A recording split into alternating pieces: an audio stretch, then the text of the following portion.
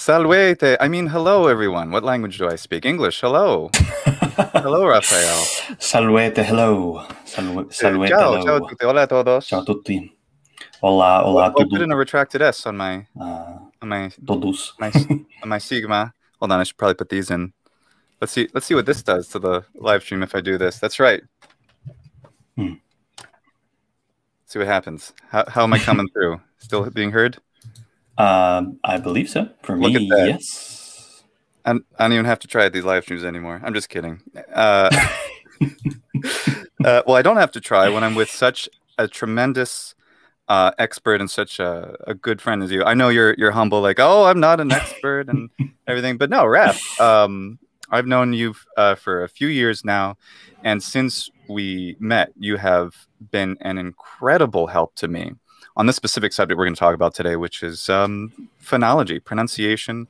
Yeah. Uh, you know, you saw videos I was doing in Latin on Scorpio Martianus, and you're like, hey, I love what you're doing, but here's some tips that'll improve what you're doing. And I immediately got better.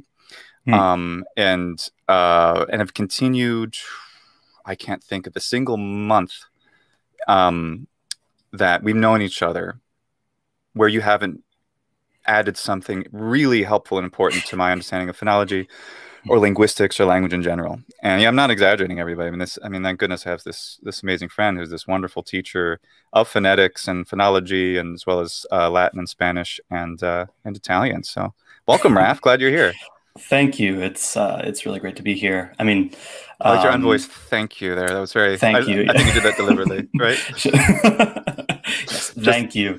Um, I, I say the, the weird way. I say thank you, which is, Hmm. I, we're, since we're not being prescriptive, right? You taught me not to we're do not that. being prescriptive. Although you, you still make fun of me for saying often, but uh, I do need to make a video about that. yeah, yeah, yeah. No, but it's uh, yeah, I mean, people have probably seen or potentially seen me floating around talking about random things in, in Mm. various videos. I think we have a video talking about ancient Greek pronunciation. We have a video talking about why Spanish definitely definitely comes from Latin, um, which were super fun to do. But uh, I think maybe some people are wondering like.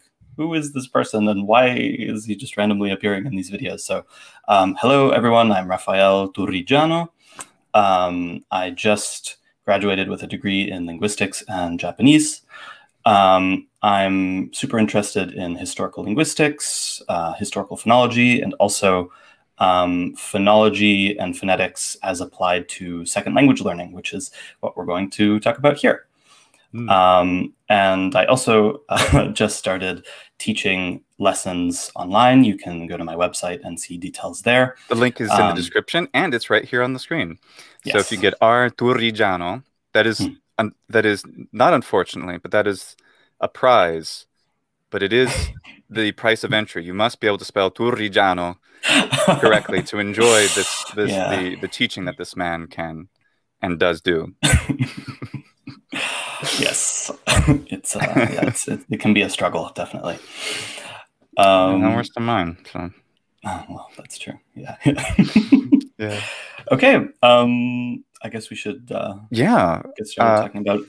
Yeah, I was just going to sh- point out the. Hold on, I'm going to get to video. In case people want to see video that uh, I was just mentioning, um, Raf was um, the the co-developer, if you will, uh, of the Lucian pronunciation, which is meant to be a essentially a uh, a way to, to to pronounce ancient Greek, which can satisfy more uh, more people, I think. Um, but the video explains a lot, and you can see, you know, you can see a lot more about what, Raf does and how he uh, how he communicates there, uh, as well as hold on Spanish, um, Latin. Hold on, I'll just put in this. Uh, no viene del latín. No viene de Latin.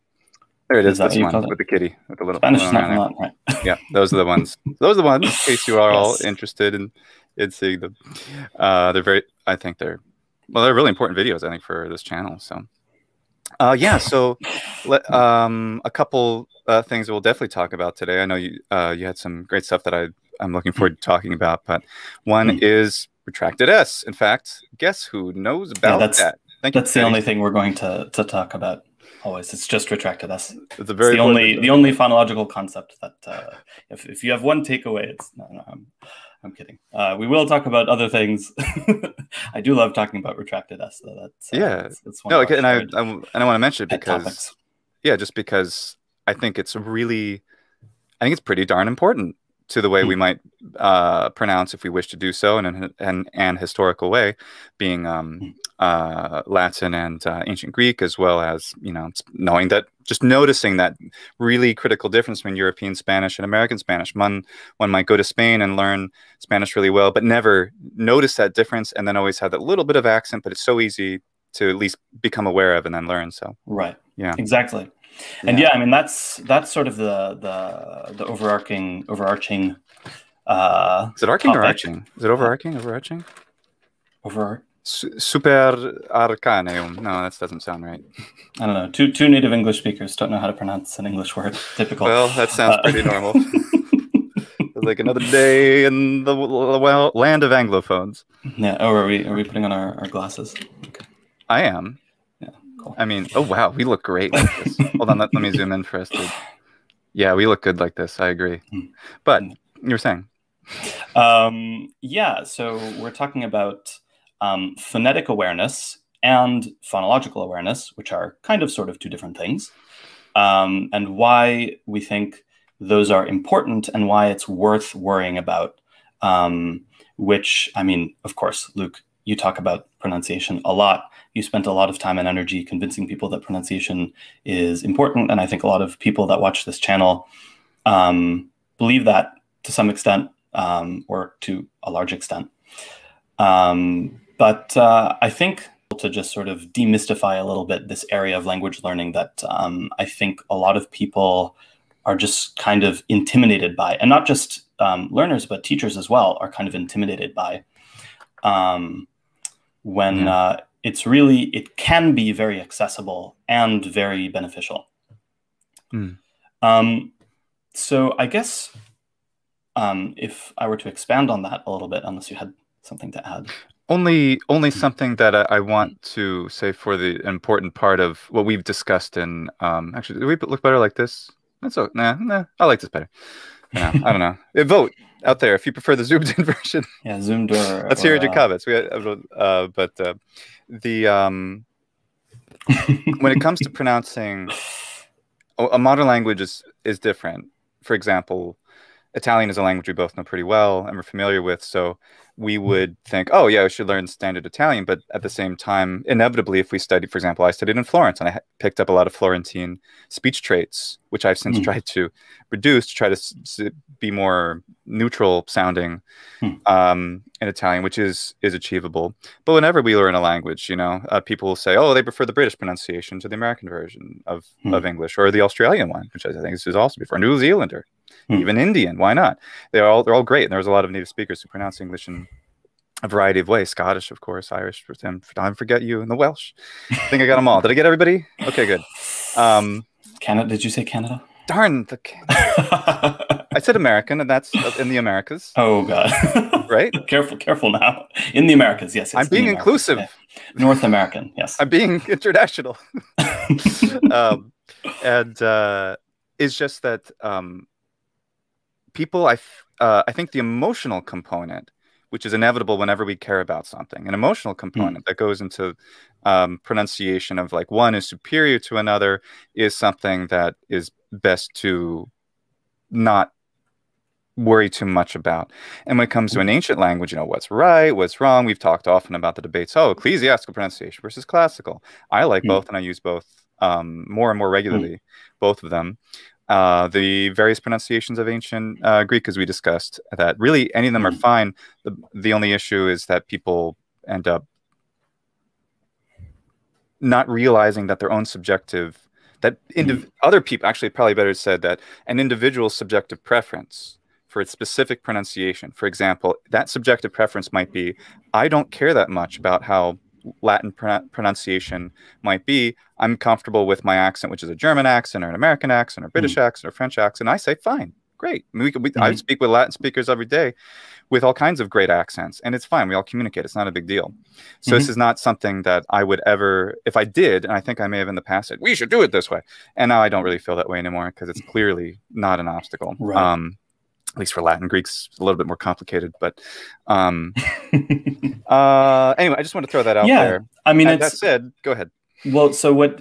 I mean, it, it, I'm I completely agree. You know, this um, conversation is not going to be about you know this. You should learn this pronunciation for this language or this other pronunciation. Of course, we do kind of sort of prescribe a pronunciation for um, ancient Greek, but it's really more of a just here's an option for anyone who's interested. It's not it's a, a everybody should exactly. Um, yeah. We're not saying that everybody should pronounce Greek the way that that uh, that we want them to pronounce Greek. It has nothing to do with that.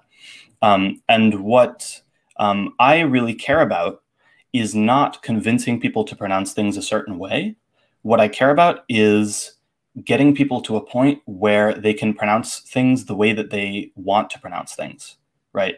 So everybody, I mean, maybe not everybody, but most people, when they learn a language, they have some aesthetic notion of of what they like about that language, what they would like to sound like. Um, you know, often when someone learns a language, especially if they really enjoy learning that language, like if it's not for a job or something, um, they enjoy the sound of that language. And uh, it's a wonderful thing to be able to reproduce that. And so, if that's a goal for you, if there's, it doesn't matter what pronunciation you are interested in uh, within that language, because there will be many different pronunciations usually.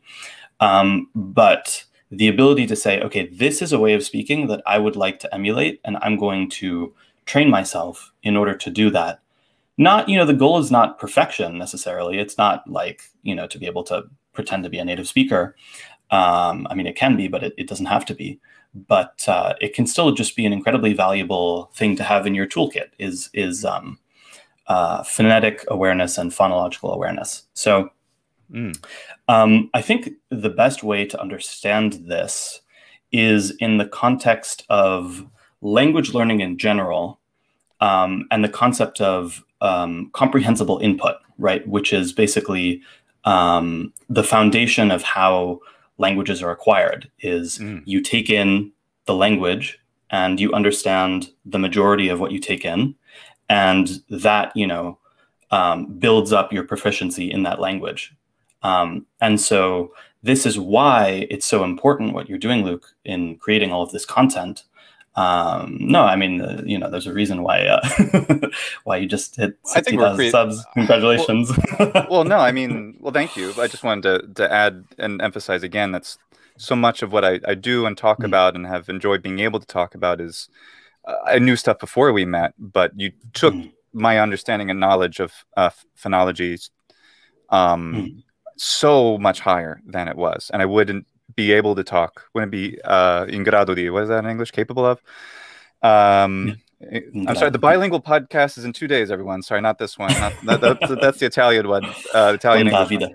Con Davide. Um, uh, the uh, in grado di, is that capable of? It just feels right to say in grado di. Mm-hmm. I would not be in grado di um, speak about the things that I, I do now without mm.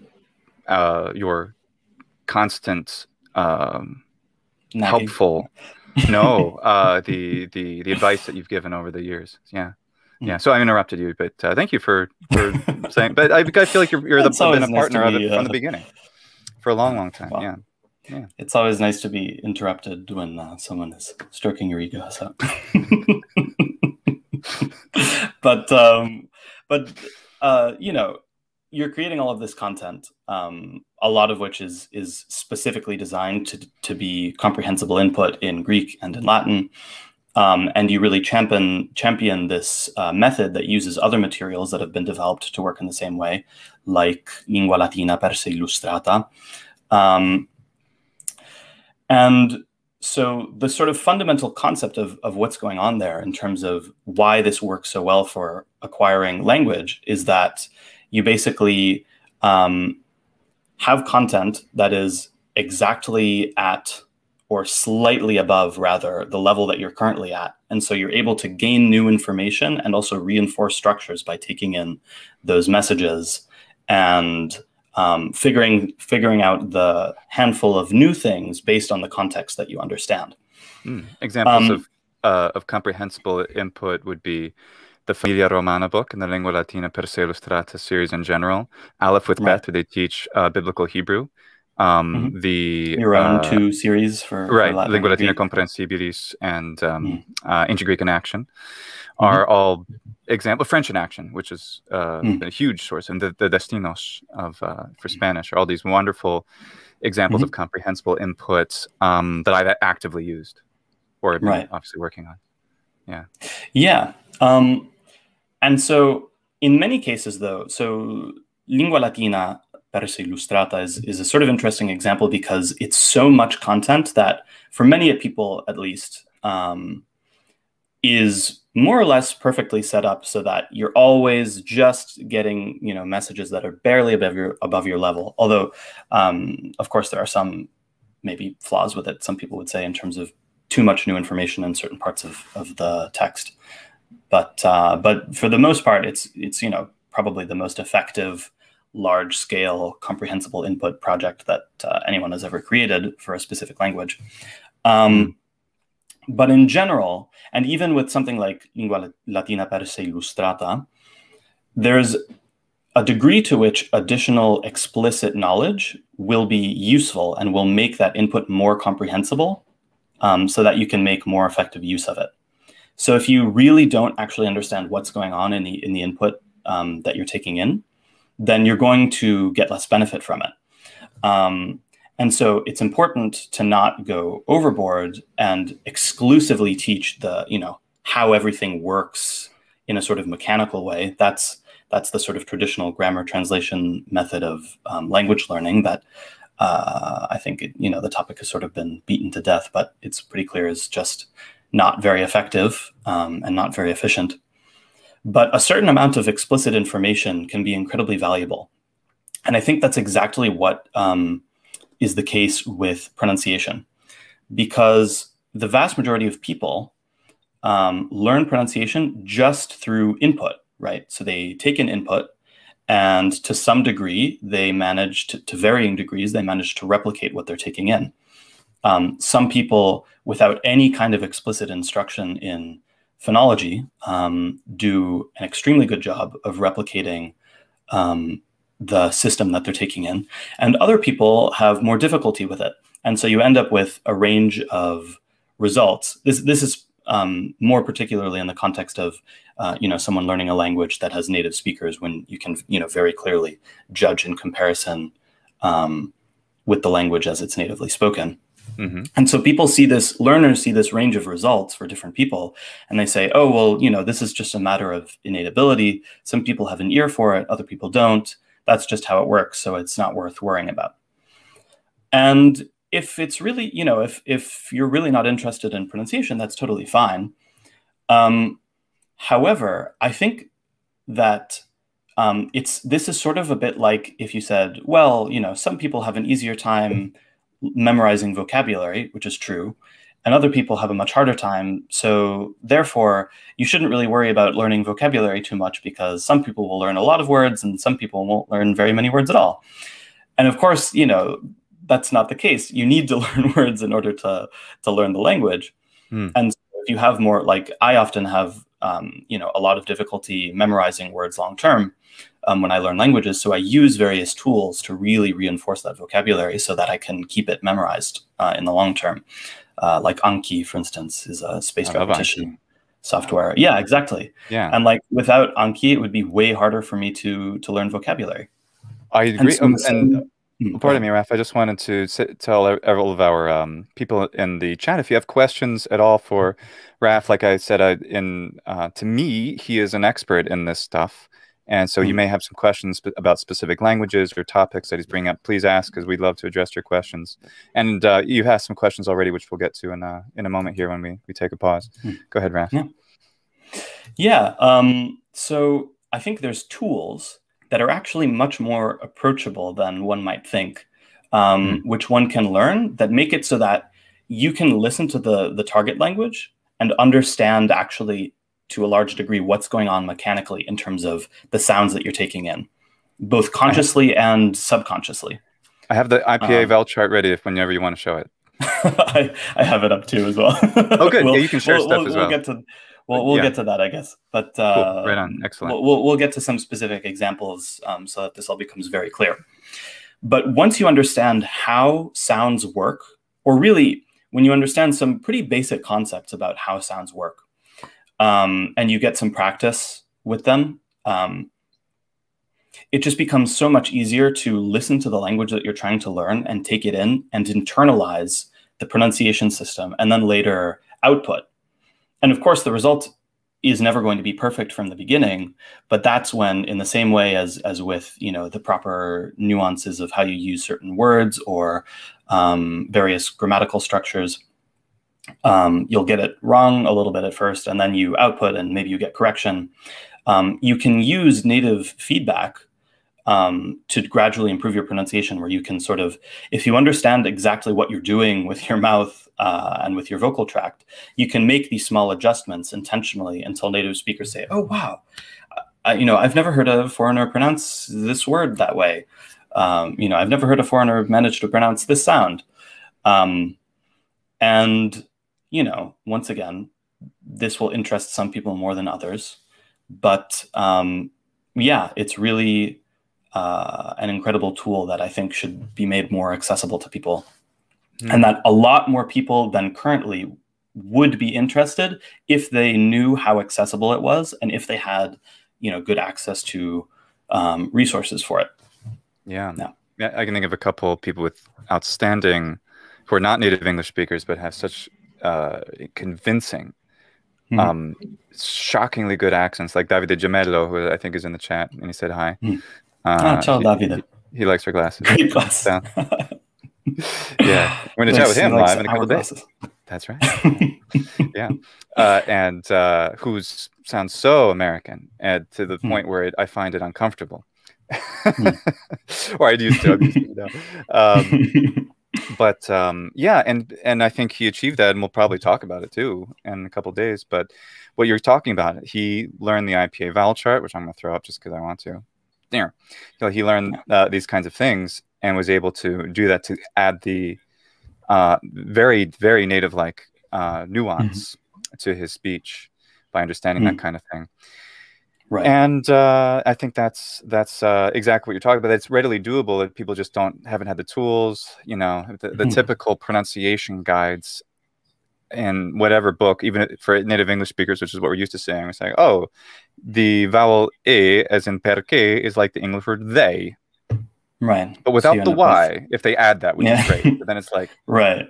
But, but it's still it's often not very useful, and it doesn't it doesn't teach English speakers how to actually make that sound um, in a way that's useful right? Because that that information can be a good starting point. You can tell an English speaker, "Oh, you you, you know you have this sound sort of in this context, although it's linked to this yeah sound that you have to get rid of." But then you know English speakers are like, "Well, how do I get rid of that?"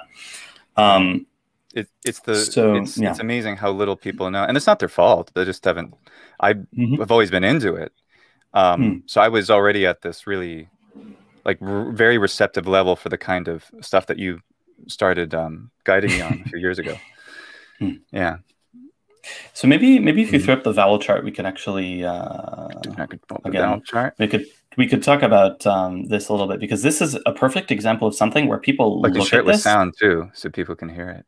Oh wait, I can't do that. One. Wait, where'd it go? Oh no, I have, I have to do it. In, I mean, you you can just uh, you can just do the sound for us, Luke. You can just pronounce all the all the vowels. No, but I like hearing go. Uh, Caw, a caw. Sounds like a bird. Yeah.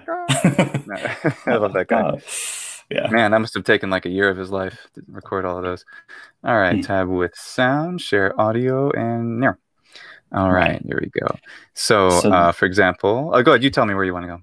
Well, I mean, so I, I just wanted to say about this. This is a perfect example of something that people look at when they like. Let's say someone says, "Okay, I want to learn about Spanish phonology. So they like go onto the Spanish phonology Wikipedia page, which is a great resource. It will have a ton of useful information once. It's also a great step because most people don't even do that. Yeah, well, that's true. but a lot of people will do that maybe at maybe at someone's recommendation, and they'll look at something like this and they'll be like, "Oh God, what is this? How do I how do I even begin to make this make sense or make this be useful to me?"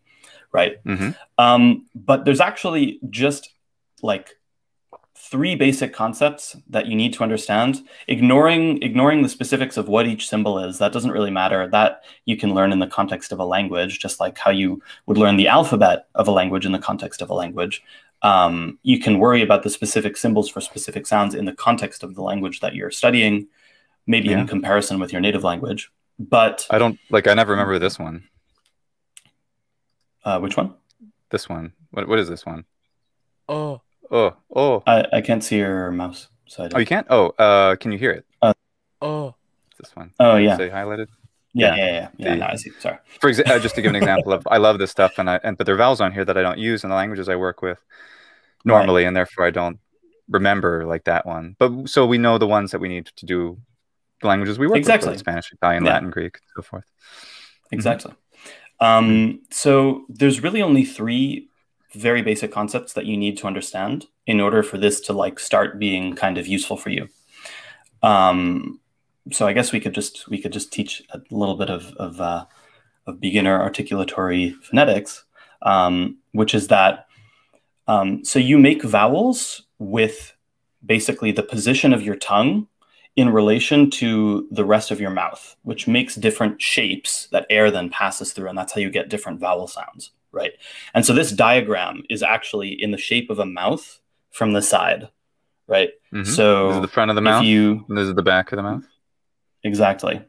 Um, so you you know you have the the roof of the mouth, the front of the mouth, which is near the the teeth, and then you have the bottom jaw basically, and then you have the the back of the mouth slash throat.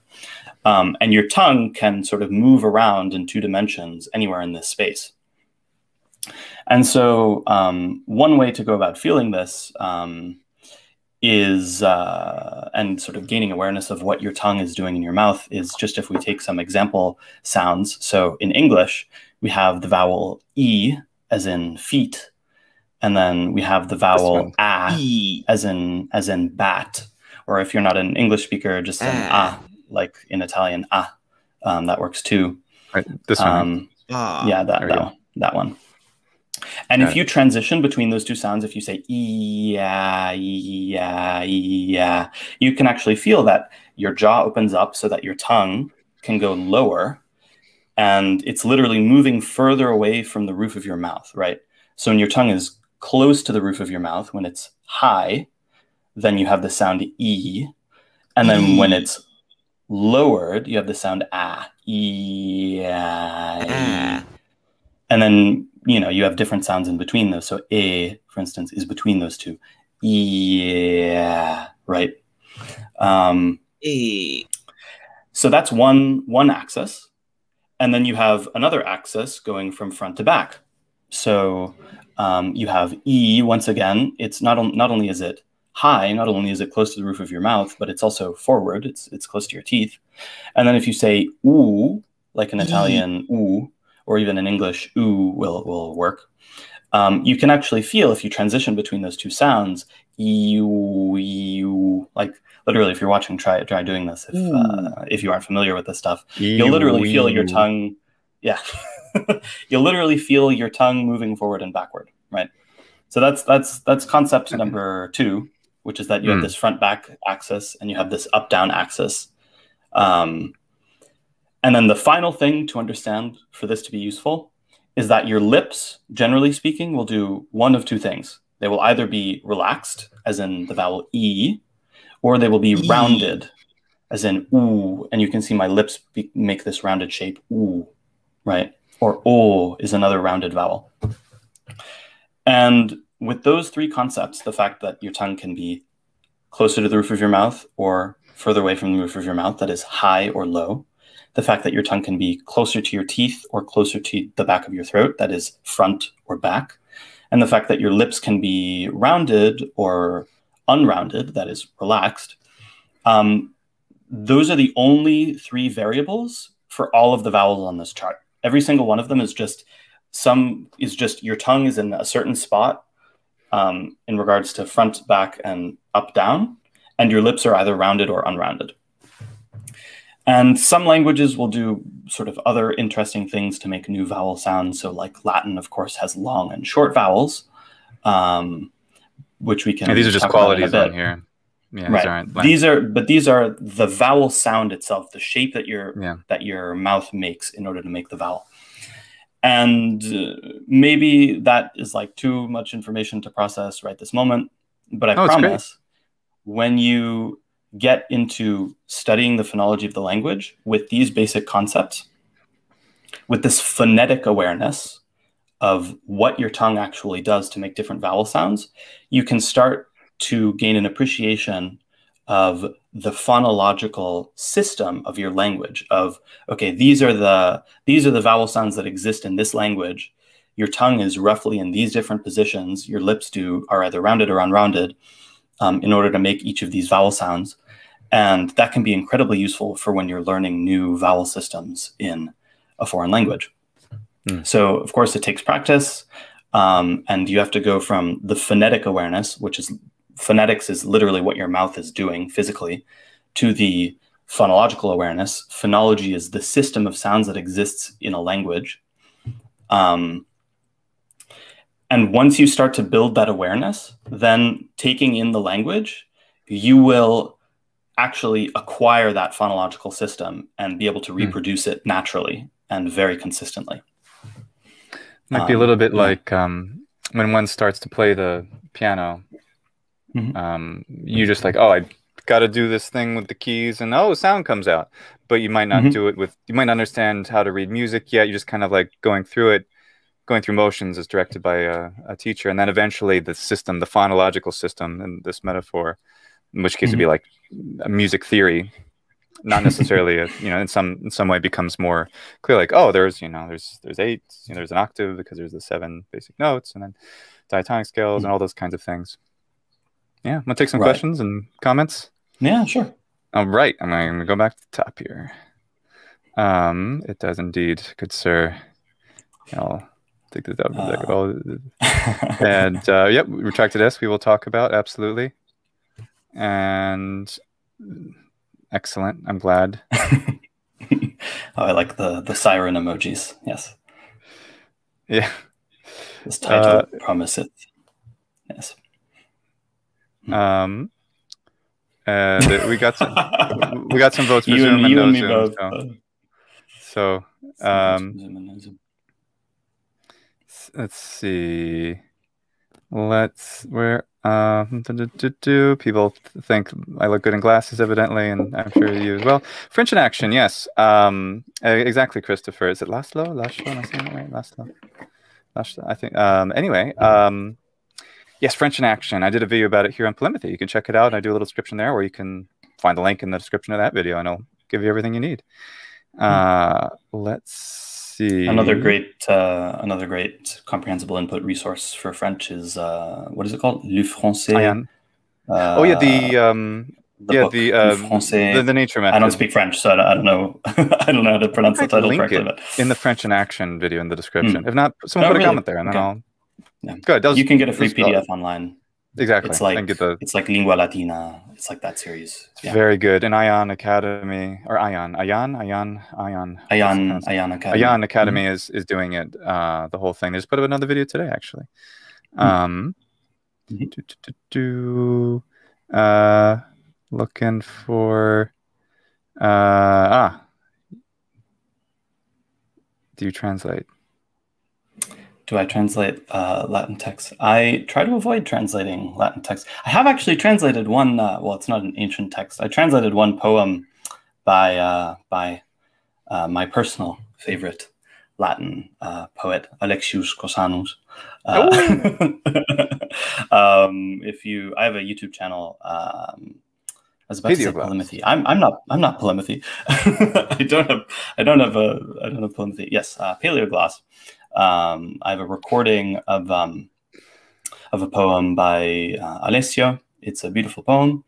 I tried to recite it uh, beautifully, as beautifully as I could, uh, and I, I put a little translation. But uh, but no, I also enjoy reciting his poems. I haven't done it in a couple years publicly, but I I yeah, I Hmm. love his how his poetry sounds. Hmm. Yeah. Uh, okay.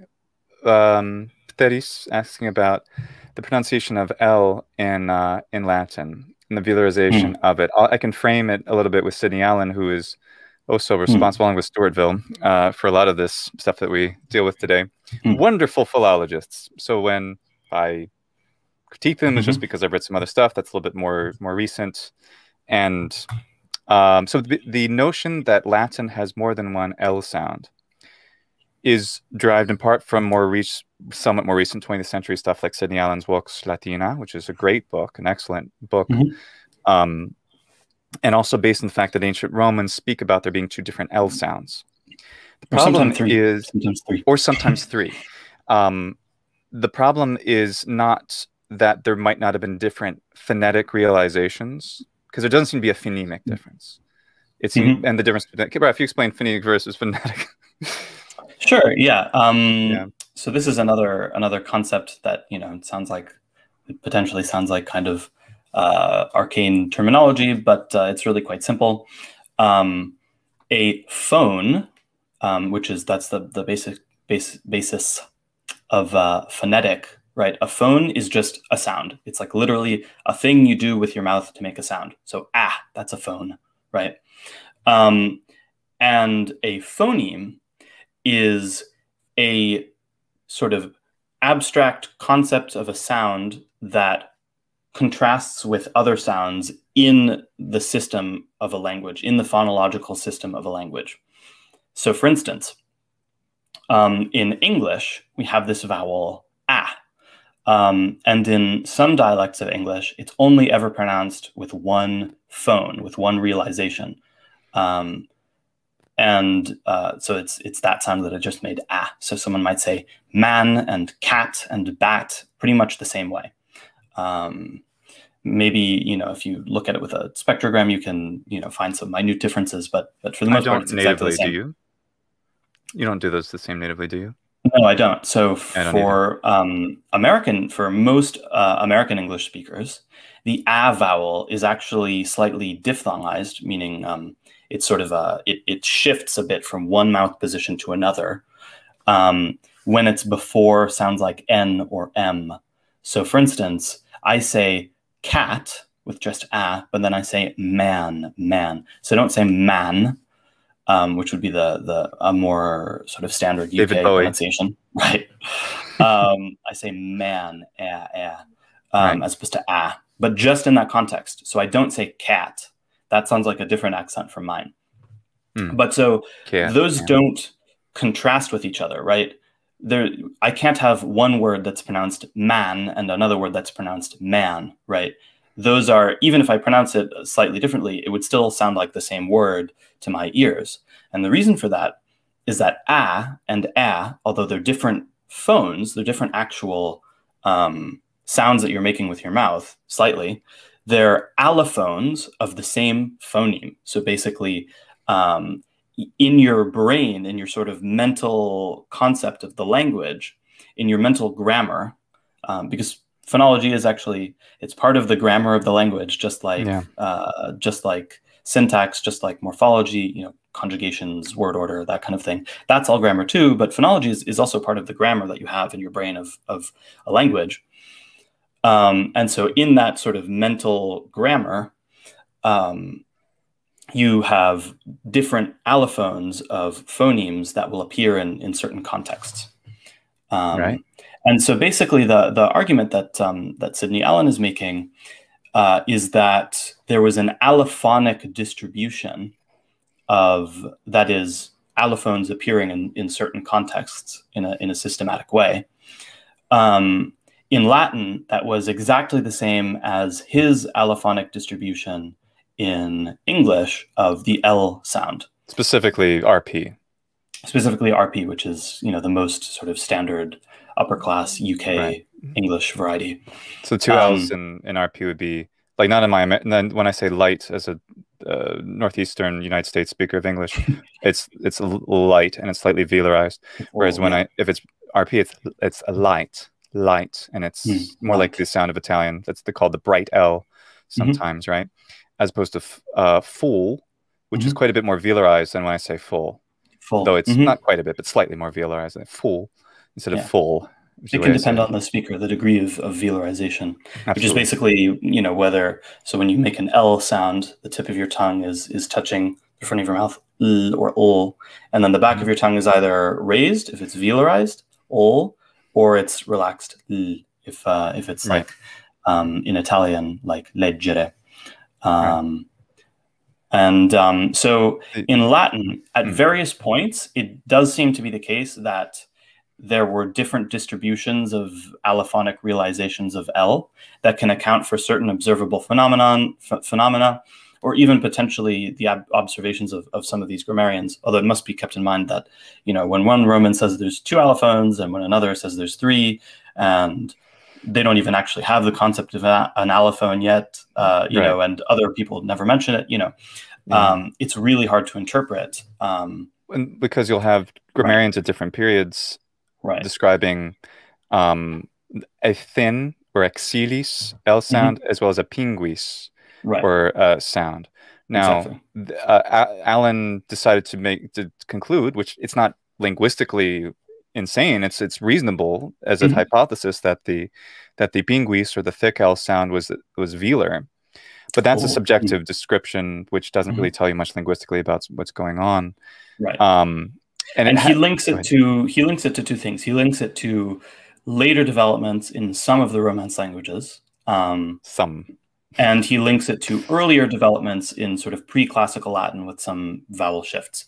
The problem with this is that this is precisely the kind of thing, the realization of L, that can um, change um, in either direction uh, quite quickly in you know of in very specific speech varieties, resulting in all sorts of fun developments. So we're going on a little bit of a tangent here, but uh, but but it's always fun to talk about historical no. This is I think this is exactly But, the this is right uh, on the the well, uh, yeah, subject. true, I think yeah, but and really, what I meant is I was about to go on a, on a bit of a tangent, if that's okay, like giving an Oh. example of uh, Yeah. in romance.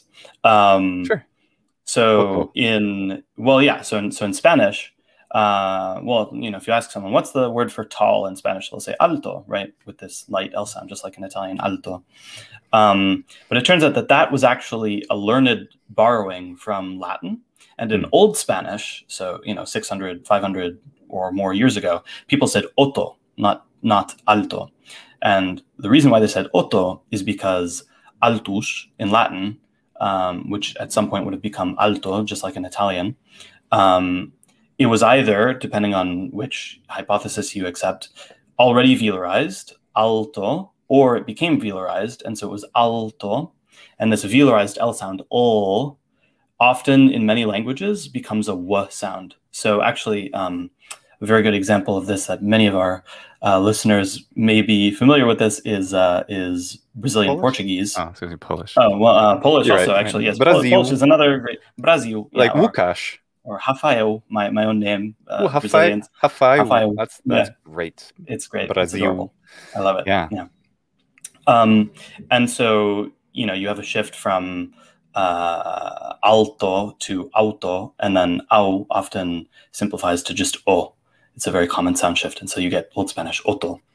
Um, or another hilarious thing that happens in uh, one of my personal favorite Romance languages, um, totally not because I'm biased or anything, Catalan, Sardinian. is uh, is in Sicilian. Darn it. So, so this is a good example of, of um, you know, Sicilian and Italian are very closely related varieties. Italian has no signs of velarization whatsoever, right? You just have alto. Um, Sicilian, on the other hand, in many dialects, because it, it varies depending on dialect as well, you have uh, the the same word is pronounced avuto, and so the question is, what what happened there? How do you have alto in Italian and avuto in Sicilian?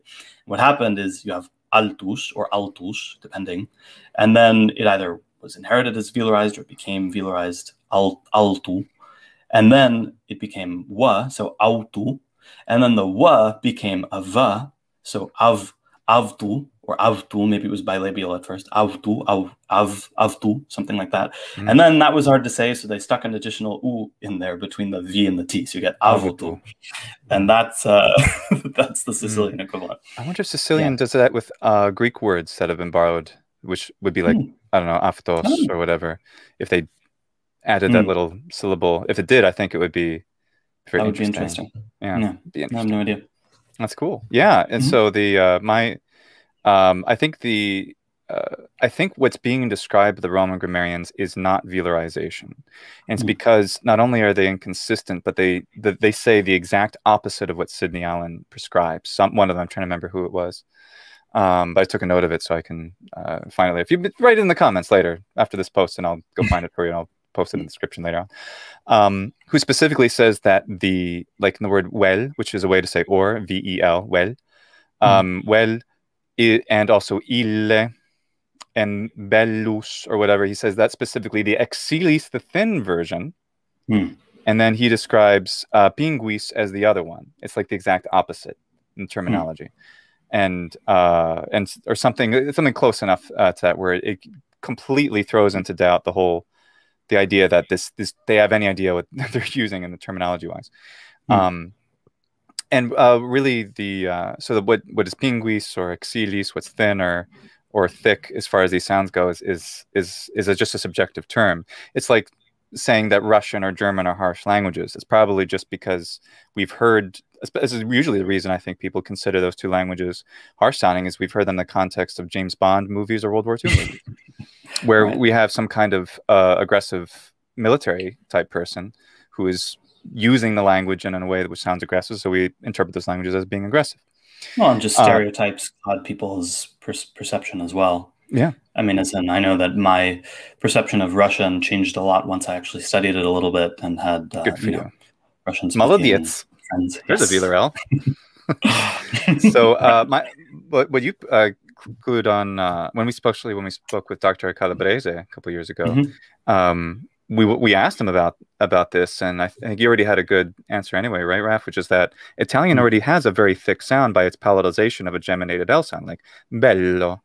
Bel- It's not bel. It's not bello. It's not the. yeah, I mean, there's certainly bello. there's certainly variation in in uh, how the Italian L is pronounced in different contexts, although it's never fully velarized. But you know, there's definitely variation between more palatal um, and more velar in different uh, in different contexts. But I'm just I'm not confident that the Romance evidence really says much about the distribution of different allophonic realizations of, of L in, in Latin in general. Standard Italian, Northern Mm. Italian through Eastern Romance doesn't Mm. show any velarization.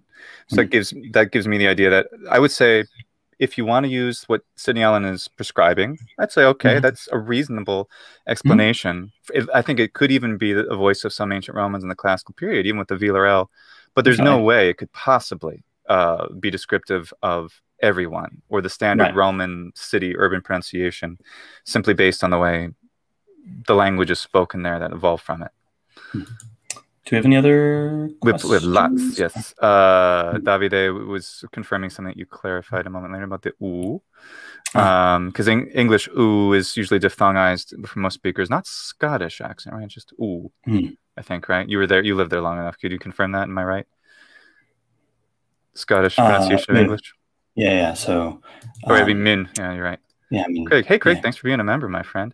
Um, yeah, absolutely. That is that is helpful. Fa sol latido we practice in singing. Yeah. Helpful. Um, actually, this is a very interesting uh, question.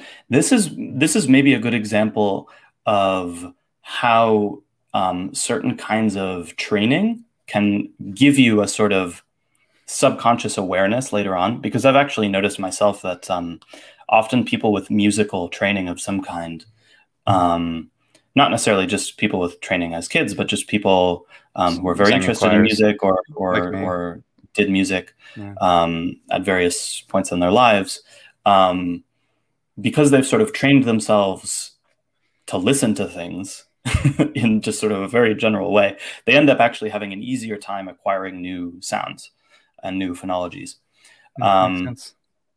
And so, but once again, this is not the kind of thing where you should say, "Oh, well, I I was never into music. I never studied music, so this is beyond me." Not true. Even even if you know this is something that you find um, challenging, um, if you just apply yourself, if you're interested and you apply yourself, you learn the basic information, and then you just learn the language, listen to the language, practice a little bit, get some feedback. Your pronunciation will improve and it's also you know it's you can put as much or as little effort into it as you want right? It's not an all or nothing thing. It's not like either you sound exactly like you know the typical accent from your native language or you sound perfectly like a native. And if you can't sound perfectly like a native then there's no point in studying pronunciation. No it's it's not like that I at don't sound like a native anymore.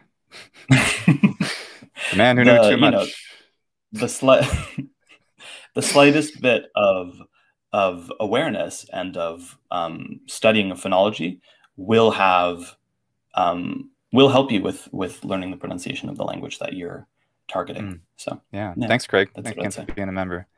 Um, and Logan asks, are teachers common who teach phonetics explicitly when teaching some language? Learning German Mm. in college was basically all up to me. Yeah, so this I think is one of my biggest complaints about um, sort of the modern institutions of language teaching is that um, often they ignore this element of the languages that they're teaching, even if their methods have become much, much better in a lot of other areas. Um, they ignore pronunciation when I think it can actually be a really valuable thing for someone that's just starting out at a language because the other the other benefit um, to phonetic awareness is not just how you sound but also your ability to understand what you're hearing so there's all sorts of um, fascinating and you know somewhat complicated but but totally learnable processes that go on in my own native american english where certain sounds sound very different depending on the context depending on the the, the phonological context what sounds they're surrounded by. And someone who doesn't understand those rules might end up having a more difficult time understanding me when I'm speaking in the way that I speak natively, like when I'm talking to you, Luke. And so if I notice as a as a native speaker, if I notice that someone um, is having difficulty understanding me, I'll change the way that I speak to try to make it more understandable for them. But then if they're trying to watch a movie or a series or listen to two other people having a conversation, it'll be difficult.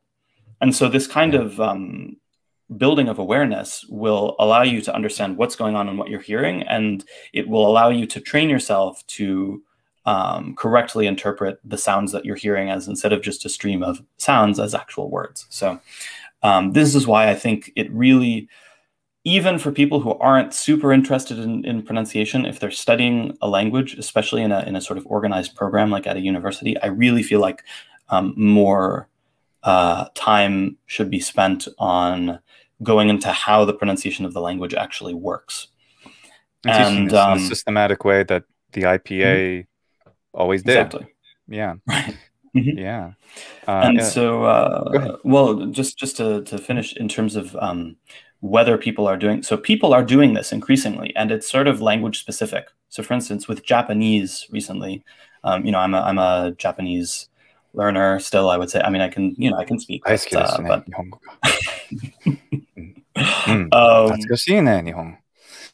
but, uh, but... um, but uh, なんだと。あのイタリアの方あが懐かしいけど。あ確かに。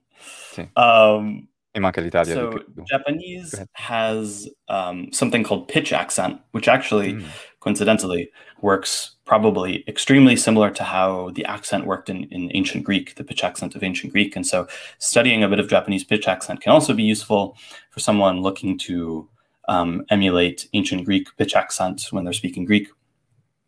But pitch accent is a part of Japanese learning and teaching um, that, for the most part, has been ignored. And people have said the same kinds of things. Oh, it doesn't matter. Oh, you'll you'll just either acquire it naturally or you won't. Um, people will understand you either way, et cetera, et cetera. There's no point in spending time on it. And Hand me that bridge so I can eat my sushi. right and so many many members of the community have sort of changed their minds about this and there are teachers who are really doing a great job of pronounce of sorry of uh, teaching it so for instance um, there's a youtuber who's famous for doing he's american but he does comedy in japanese dogen and um, he He's teaches insane. yeah, He's I mean he's so incredible. good. He's- he has a has an incredible native like pronunciation. Blows my mind every um, time I see his videos. And uh, if you subscribe to his Patreon, he has a course teaching uh, Japanese pronunciation Mm. and pitch accent, both actually. I don't know. All, all the fun nitty gritty details with great uh, Mm. great examples and and uh, visuals and so that's like a perfect example of of someone who's filling this space now. Um, and like, I mean, you know, similarly, YouTube. that's that's sort of a niche do. that I'm uh, hoping to fill a little bit. Uh, Apropos, if you would like of- to get uh, trained by Raphael, then the link is in the description where you can uh, sign up for his lessons. right. Yeah. That's right. Mhm. Oh, and if you uh, Does that continue if you have- uh, this is a question about- sound, of uh, and Aleph, Ayin and, uh, those are Aleph? consonant sounds. Uh, Those are consonants, yeah. actually. And we will we'll look at a consonant. we- There's we can well, uh, it's there's some we'd have to pick we take a language, but we have actually Mhm. quite a number of other uh, interesting questions. I think so. Let's. Uh, Hmm. I mean, go and take a look at this. They only they came from oh gosh a half hour ago. Uh, this is a good one. Thank you. Uh, oh, is this uh, hey hey Fabrizio? What is the best way to learn Oh, all the vowels from your desired language? Right. So I think um, it really so there's stages, right? Um, in the same way that there's stages in terms of learning the language itself and acquiring the language itself, I think you want to start with learning a bit about just how vowels work and practicing it a, a little bit. Um, but that's basically just the information that I that I uh, already explained. There's additional information that could be explained depending on the on the language.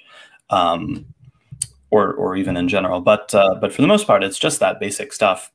Learning that that phonetic awareness initially, and then um, studying a bit about just the explicit information of okay, this is the number of vowels in the language. So, like for instance, when I was learning Italian uh, at the beginning, um, everybody told me there were five vowels because there's five vowel letters. But there's seven. There are seven vowels, right? There's i, e, e, a, o, o, u, right? Seven vowels in Italian. And it wasn't until a friend of mine pointed out to me, you're pronouncing this word wrong because you're using the wrong e sound instead of e. It's supposed to be e. Dammi una other way around, I pesca. um, until someone pointed out to me, I had no idea that this was the case, and I was just completely ignoring it. But once I learned that that was the case and I practiced differentiating those sounds, I was able to listen to Italian and acquire the difference. I think Portuguese also has has the same difference between e and e. It does. Um, and um, so, so that's sort of the third step, right? Is first you've learned a bit about how vowels work. Then you've learned a bit about the actual system that you're trying to learn, how many vowels there are, approximately where in the mouth they're produced. You practice producing them yourself. At first, you won't be able to 100% of the time consistently pronounce them, produce them correctly, but um, you know, with practice, you'll improve. And then you listen to a ton of the language. You listen out for those distinctions. Um, you can even listen to audios of, of Signal check. Raf is frozen on my side. Could someone uh, in a comment let me know if uh, it's him or me? Oh, hey, hey Raf. I don't know if I was freezing or, or if you were. Hello. I'm did checking. uh, did everyone hear what I was saying, or did I? Uh, you, you cut out just a, a moment uh, ago, about 30 seconds ago. Um, but I'm Oh. asking, it was, uh, yeah, apparently you were frozen, was according frozen. to comments. But uh, yeah, go ahead and, and say what you were you're saying again. Uh, from, from where? Uh, okay, Hi, So- I, so- uh, this is Raf, and uh, he's going to talk to us today about we're pedology. we're gonna do the whole a whole hour long podcast again. yeah so um so in the context of italian you heard that part right um yeah, the, about the I um, right, and I said using sto A&A. mangiando una pesca. That was, I think, right right before cu- cut out. um i listened to a bunch of italian i said i said that i listened to a bunch of italian now knowing the difference between these these things Mhm. um, and that allowed me to acquire it. And so basically by going in these steps first you you practice um, first you learn about how sounds work then you practice the specific system you read about and understand and listen to and, and practice the specific system that you're learning. And then you just listen to the language you listen to words in the language that make these distinctions that you're trying to acquire. Um, both consciously and subconsciously try to pay attention to these sounds but also just get tons of input as you're learning the language in general. And then when you're outputting when you're speaking um, solicit feedback. Ask native speakers hey am i distinguishing these sounds correctly? Do you notice anything that's off?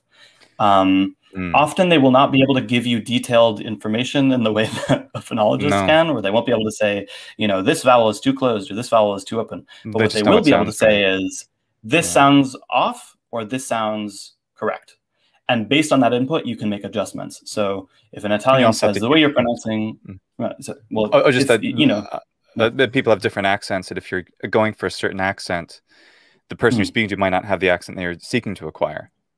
right, right, right. Like if you're studying standard So- Italian and you ask some uh, maybe someone from uh, Torino who might Mhm. have a, who might not have the same kind of um, vowel distinction we were just talking about uh, for a certain word, and so I, I guess basically they're they're the native speakers are very important, but Hmm.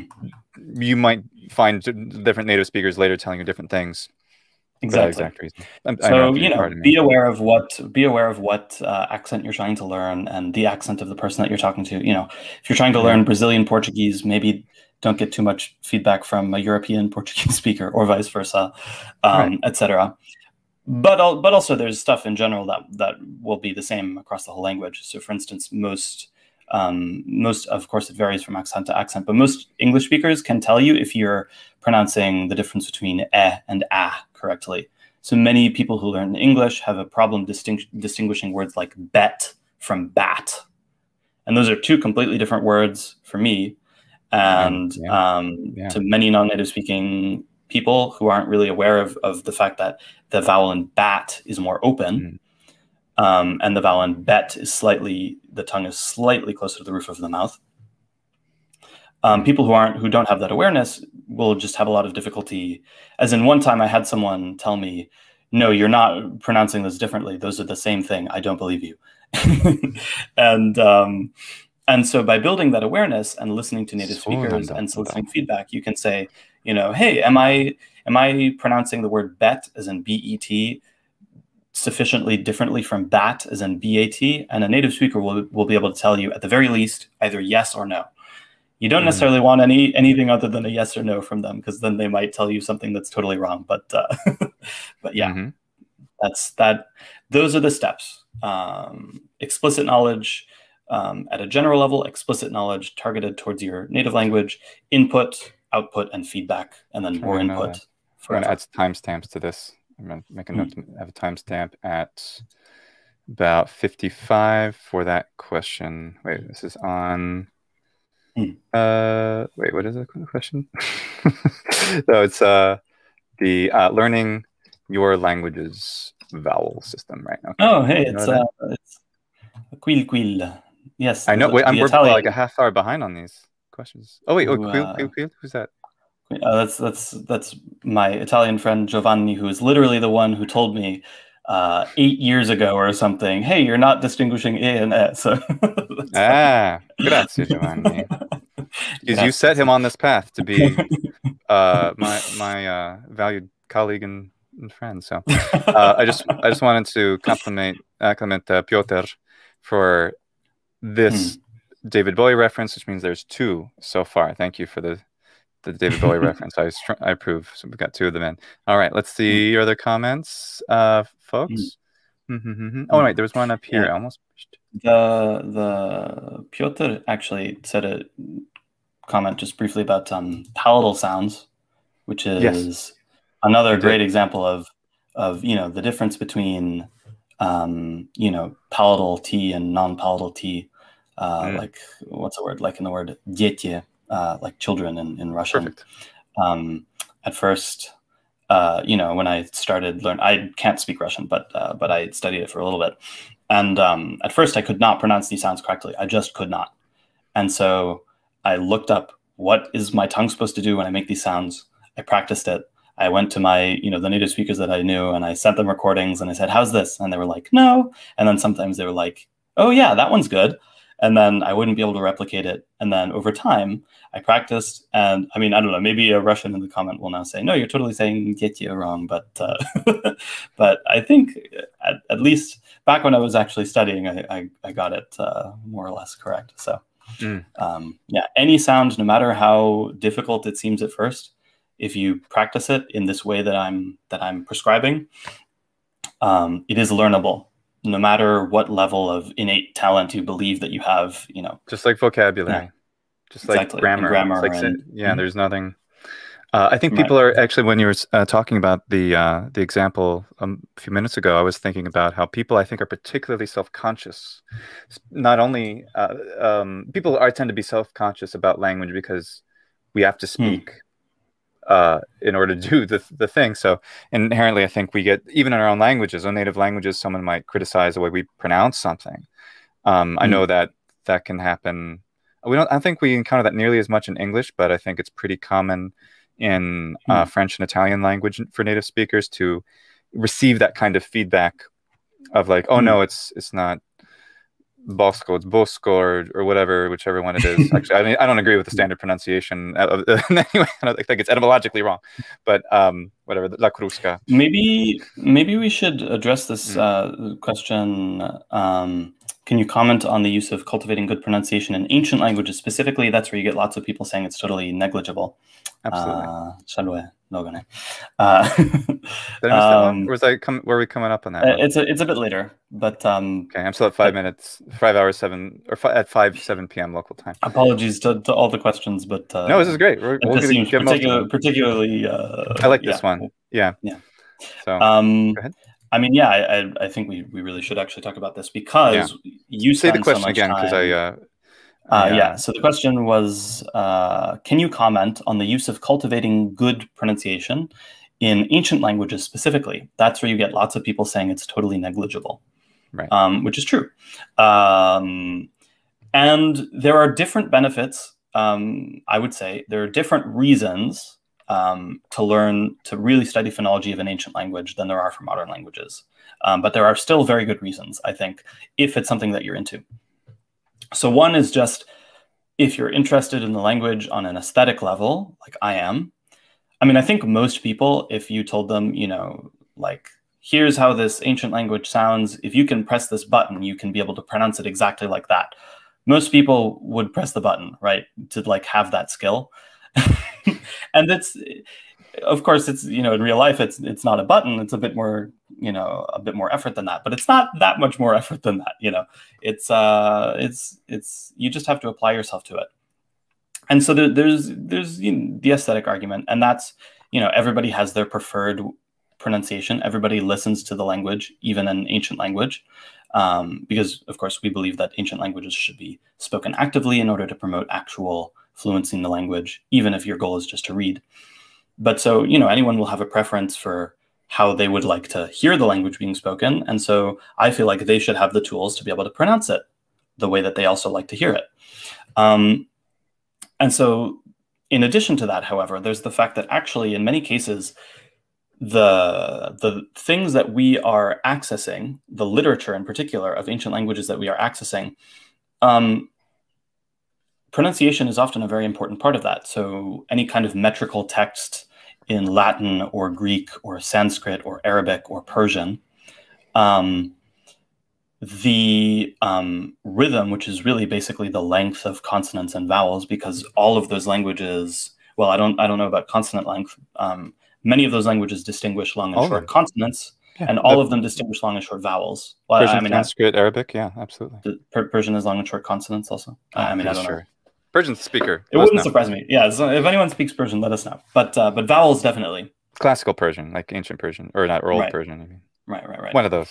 Um, and there's all of this wonderful poetry. And I am, I just want to go on record and saying, I am not saying that you cannot enjoy metrical texts without worrying about pronunciation. I'm not saying that whatsoever.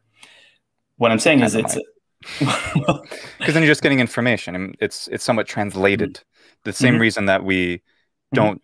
I think that's that's sort of uh, the the that's the strongest impetus I could give. I think the most beautiful poetry ever written was by um, ancient Romans and those who have imitated their style in Latin, um, even more than Greek. I love the Greek poetry, but I think the Roman are a little bit cooler, and for this specific reason. Um, Mhm. It's just not.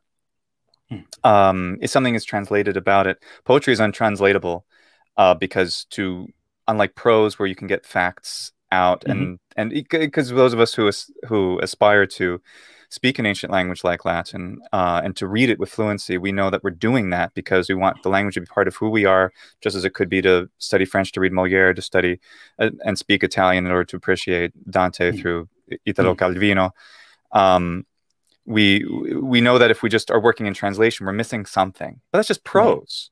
If we're not doing, or s- not all of it was prose, uh, some of it was poetry I mentioned. But if it's poetry, then there's some other somewhat musical element which is therefore not Right. uh, which is not in it. And if we are subtracting the musical element, it's like I mean, there's a lot of there's lyrics to a lot of good songs, Mhm. but without if you remove the melody, it's Mm-hmm. it's it's uh, not the same thing, and it, and the intent of the author is not um is not received.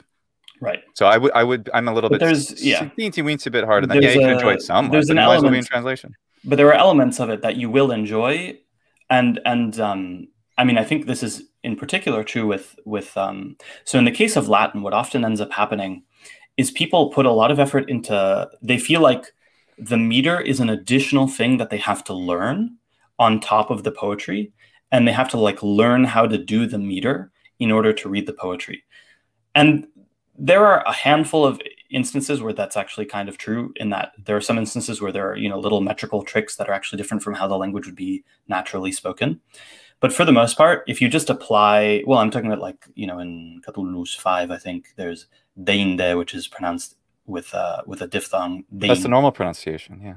is it oh is it one syllable normally? Well, that, well, that's the thing that because the yeah we Oh. see that even in, in uh, Cicero and stuff that that Mm. that's not metrical. No, ge- and I remember you taking the Okay. the Catullus course too, where they probably taught that oh Mm. yeah it's it's a diphthong here for the meter, and Right. no, the poetry is Oh. basically a guidebook to natural pronunciation, and that's interesting and and we can definitely have I mean, guess that- discussions about that makes sense that people would have said uh, would have said because it's That's just normal. easy to say but, it's, yeah. They say the same thing about mul, multuille in the first uh, few lines of Virgil. That multu ille because they because that's it's an, a complete.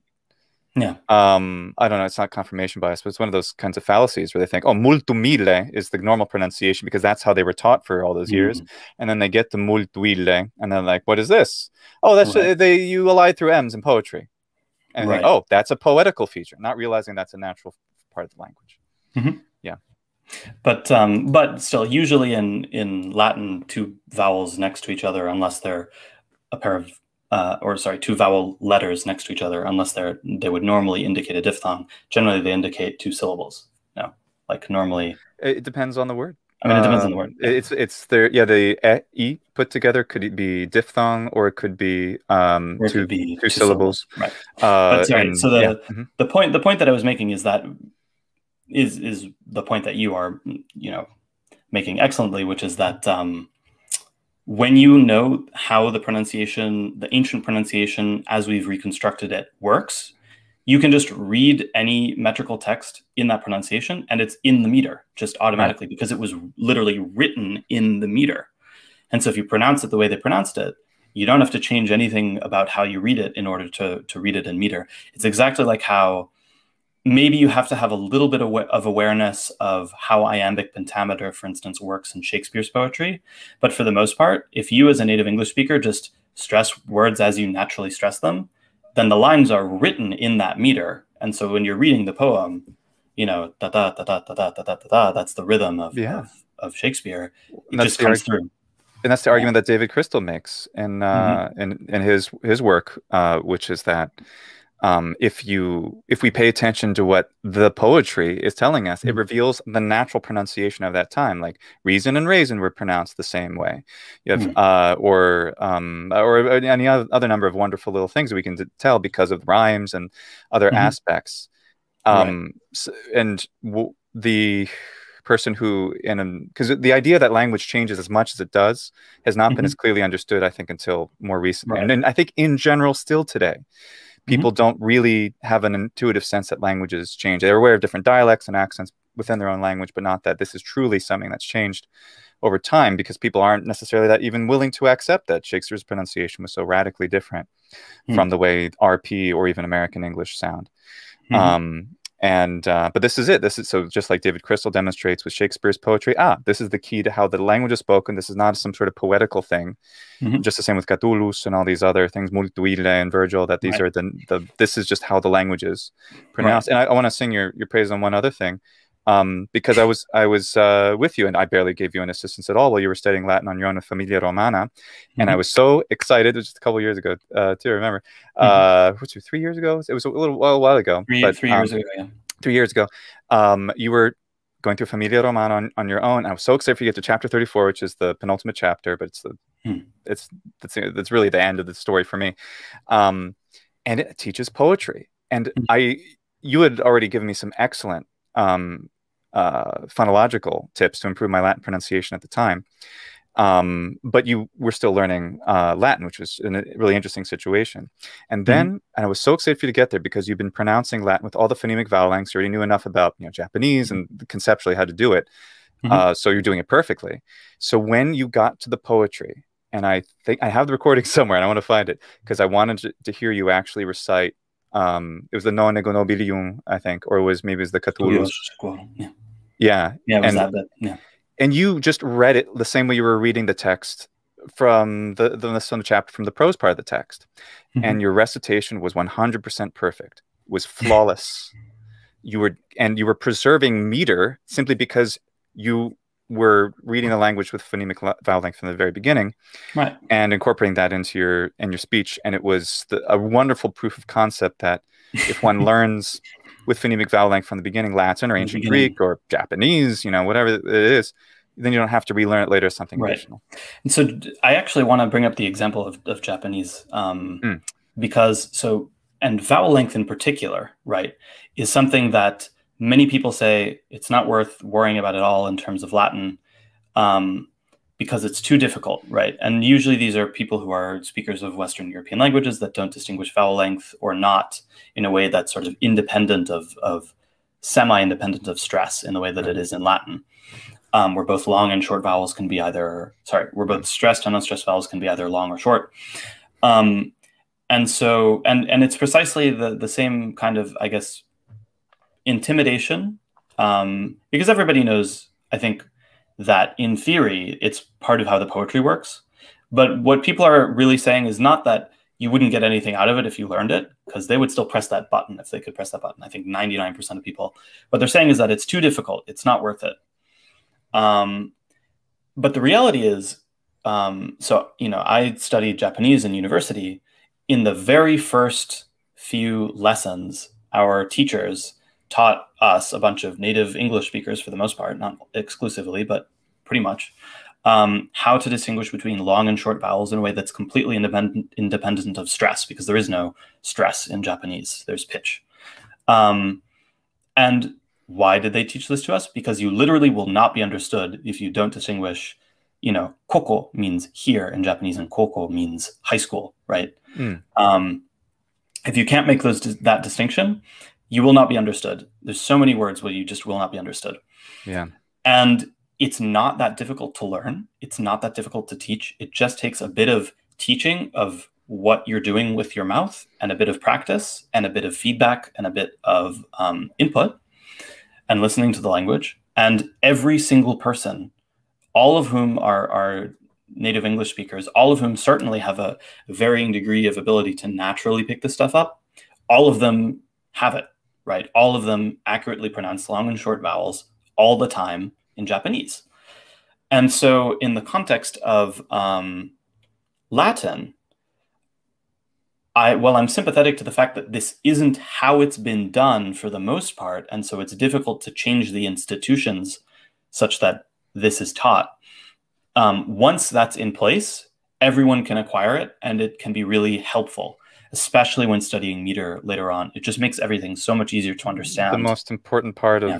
of the classics is being able to appreciate the poet that's that's my biased opinion but Mhm. uh, But it's once you get opinion. there Mhm. once you get there it's like oh right? this is life changing this is the best thing i've ever been able to you know it's great um yeah Hmm. i obviously i i agree of course you and i are And then, you know, a funny Yeah. a funny sort of uh, additional example of this is is pitch accent in Japanese, Mm. which is an example of unlike the vowel length thing, you can speak Japanese without uh,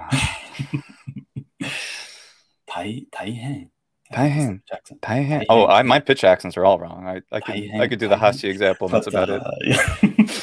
but um, yeah people. So this is an example of something that you know I have been trying to study on my own because it wasn't really taught to me.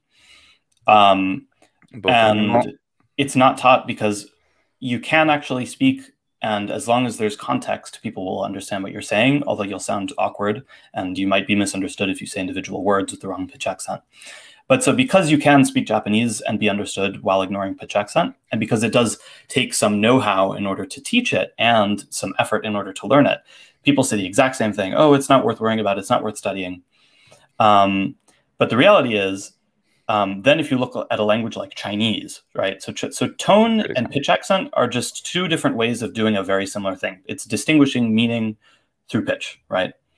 Every single Chinese learner has to learn the tones.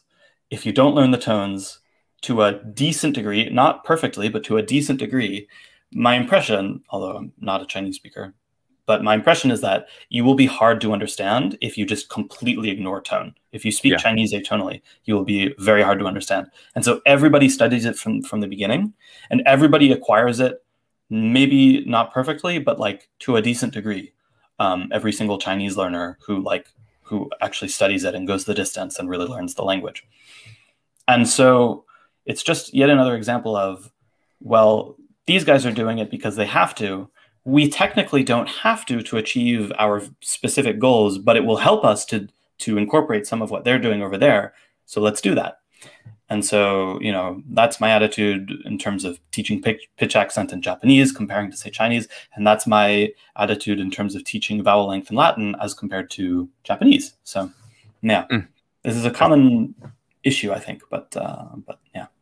Yeah, and uh, you're uh, lagging for us just a bit, Raf. At least uh, on on my end, you are. Hopefully, you... was I comprehensible or? Yeah, you're still comprehensible. You're Still lagging a bit, but uh, I think this is a uh, a quick one here. Does IPA specify what type of rounding is necessary to pronounce a vowel, namely protrusion mm. and hmm. compression?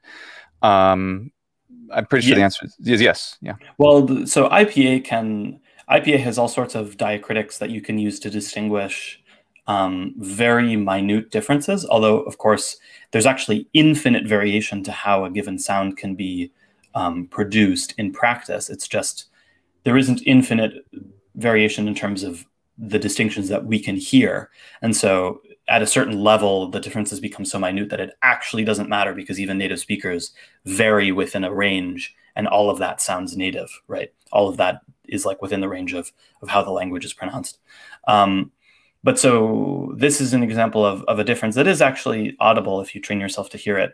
The difference between rounding, as in u, or compression, as in the Japanese u sound. Um, so like when I say, I don't know, uh, kuru, kuru in Japanese, the vowel is, it's not kuru, right? Um, the, the vowel is also slightly more, uh, a little bit more fronted. Um, but there's a distinction between compression, u, you can see my lips are sort of, I'm exaggerating, but my lips sort of flatten out, as opposed to rounding ooh, as opposed to being relaxed, which is uh, right, where my lips aren't doing anything. Um, the IPA can distinguish that when you need it to with diacritics. Um, but that's a perfect example of the thing where it's just not worth worrying about unless your language has that. So, for instance, if you're studying Japanese and you see the little compressed lips mark uh, in the context of the u vowel, that's like then an important thing to say oh what is that? What does that mean? What what is this describing in terms of what a mouth actually does to make the sound? And once you learn that then you can pronounce words like kuru kuru as opposed to kuru or kuru or however you might naturally pronounce it depending on your on your native language um yeah kuru no Gonna, yeah Oh, I miss, miss Japanese a bit. Uh, Raf, your uh, lagging a wee little bit. I wonder if uh, the mm. if you if you could uh, diagnose that. If uh, I don't know if someone, uh, if you, I mean, I have uh, my connection is supposedly. Oh, completely... oh, it's solid, solid now. You're fine now. Just, went away. Okay, cool. Uh, we got to. I could leave and come back. No, no, no. You're, you're good now. Uh, sorry, sorry to interrupted you. Hmm. Um, I, I'm yeah, I'm trying to get to all your questions. Thanks everybody for questions and comments. This is great. I'm really happy we have all this. Uh, asking about about a gunner. Can't pronounce your name very well. Were secondary accents uh, for enclitics ever pronounced as a modern Greek with emphasis on additional stress? or before loss of pitch with rising tone. We were just talking about this. Um, There's a couple different ways that one could Yeah. interpret this. Well, do you want to say something about it, Luke? no, I, I uh, because we need to actually make a video about this. I think it's probably best for our, for our listeners to patiently wait for us to make the video we promised Yeah. over a year ago that we'd make about pitch accent, where we discussed how, to, how we would do this. Um, Yeah. We'll make it. We'll make it next month. We'll do yes. Yes, We'll do okay. a, a pitch accent video. All right, we'll do, we'll do that. Um, my I would say probably the new accent that's being added to it is the one that ought to be observed more than the original natural word or the original word accent. That would be my really simple way to say it right now. But we need to do a whole video to talk about because there's a lot of possibilities. Um, I would say learn the spelling really well, along along with long vowels, so at least you can apply whatever you Hmm. learn uh, later. All right, I'm catching up here. I'm at five uh, at 5 p.m. in 16 minutes. Moving forward here, trying to get. Um, did I not? Did I say? I'm pretty sure I probably said y'all. I've lived in Alabama. I've lived in the South. I'm okay. It's a, I mean, I say y'all. I'm from Boston, so no, it's convenient. That's either you Yeah, guys and y'all's a little. I think y'all's gonna win. Craig asks, uh, why do we have such variations? Is it because people just hear each other differently? So variations in a native language. Can you? Uh, why do you have such variations? It's because people just hear each other differently. General hypothesis of mine. Well, I mean, I guess the question that you're really asking is why do sounds change from generation to generation? Because that's that's really what's happening, right? Is is basically when a group of so so from generation to generation of speakers, little minute changes gradually build up. So, for instance, there are certain vowel sounds that I pronounce differently than my parents. For me, the word COT and the word CAUGHT are pronounced identically. Caught Right. and caught. The cot caught merger, which I do not have. Um, Luke does not have, no. and neither do my parents, right? So it's in my region at least, it's a generational difference. hmm Um, Absolutely. Very common in California. And also Pin Pen is a merger that it, when I got so confused when I moved to San Diego and people said I had wait, hold on. Uh, I had oh gosh. I, I every time I try to do this, I can't find an actual pen. They're always markers. Darn it. Hold on, I'll find one. I got drawers. Okay, there's one. I'm just the worst at this. Okay. So um people would I remember in San Diego I, and uh I me- I remember good old Mitchner. Cadet Mitchner. Yeah, he's a B 52 pilot now. Uh, you wouldn't think it at the time though. Anyway, great guy. He said, "So Hey, hey, hey, Ranieri, hand me that pin." Like pin? It's like like a vo- I voted pin. What are you talking about? Yeah, the pin. What pin? The pin that's in your hand. I have a pen in my hand. That's what I said. he responded. The pin.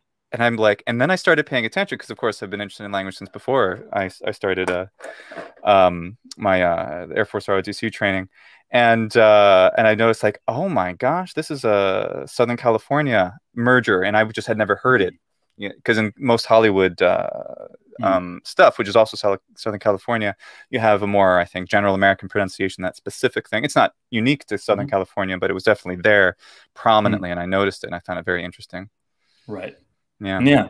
So the the sort of general concept, I guess, that has been observed um, in by you know linguistics doing linguists doing research on this um, is that children, when they're acquiring their first language, um, prioritize the way that their peers speak, the way that other children of the same age of them speak, over the way that their parents and older individuals speak. Mm. So, so at the very beginning, when a child is very young, they're mostly acquiring language from their parents. Um, but once they start coming into extensive contact with other children, um, they will model the way that they speak based on other children. And so this is how you get these generational differences that that spread, right? Each Mhm. generation. And then the other thing is that every um, time language is transmitted um, from one generation to the next, in the same way that uh, biological organisms have mutations, right? Well, language also has mutations. It's not acquired from parents perfectly. It's acquired through your brain takes in massive amounts of input and it basically builds a grammar of the language. Um, this is somewhat controversial stuff, but but but let's pretend that it's not controversial for, for a second. Um, your your brain basically builds a model of the language in your head based on that input. Um, but you have different sources of input. You interpret different pieces of input differently. Sometimes maybe you mishear things. Um, so everybody maybe remembers especially English speakers do this all the time. They'll say a word and other speakers will be like, "What?" And it turns out that you've just been pronouncing that word wrong your whole life because you You mean it's maybe not you- you volcano? it I said that as a kid. I because this this shows the degree of, of my youthful arrogance where I in I someone said it was Vulcan and not Bulkis. No, it's Bulkhead with the butt, and I didn't. I didn't. I, was that the stupidest But- thing ever? That's adorable. But it's very me, isn't it? but uh, yeah, so often these mutations, quote unquote, will disappear once language once children come into contact with other children because they'll remodel their speech based on how everyone else talks. But sometimes, rather than the person with the new feature remodeling their speech based on other people, other people will remodel their speech based on the person with the new feature, right?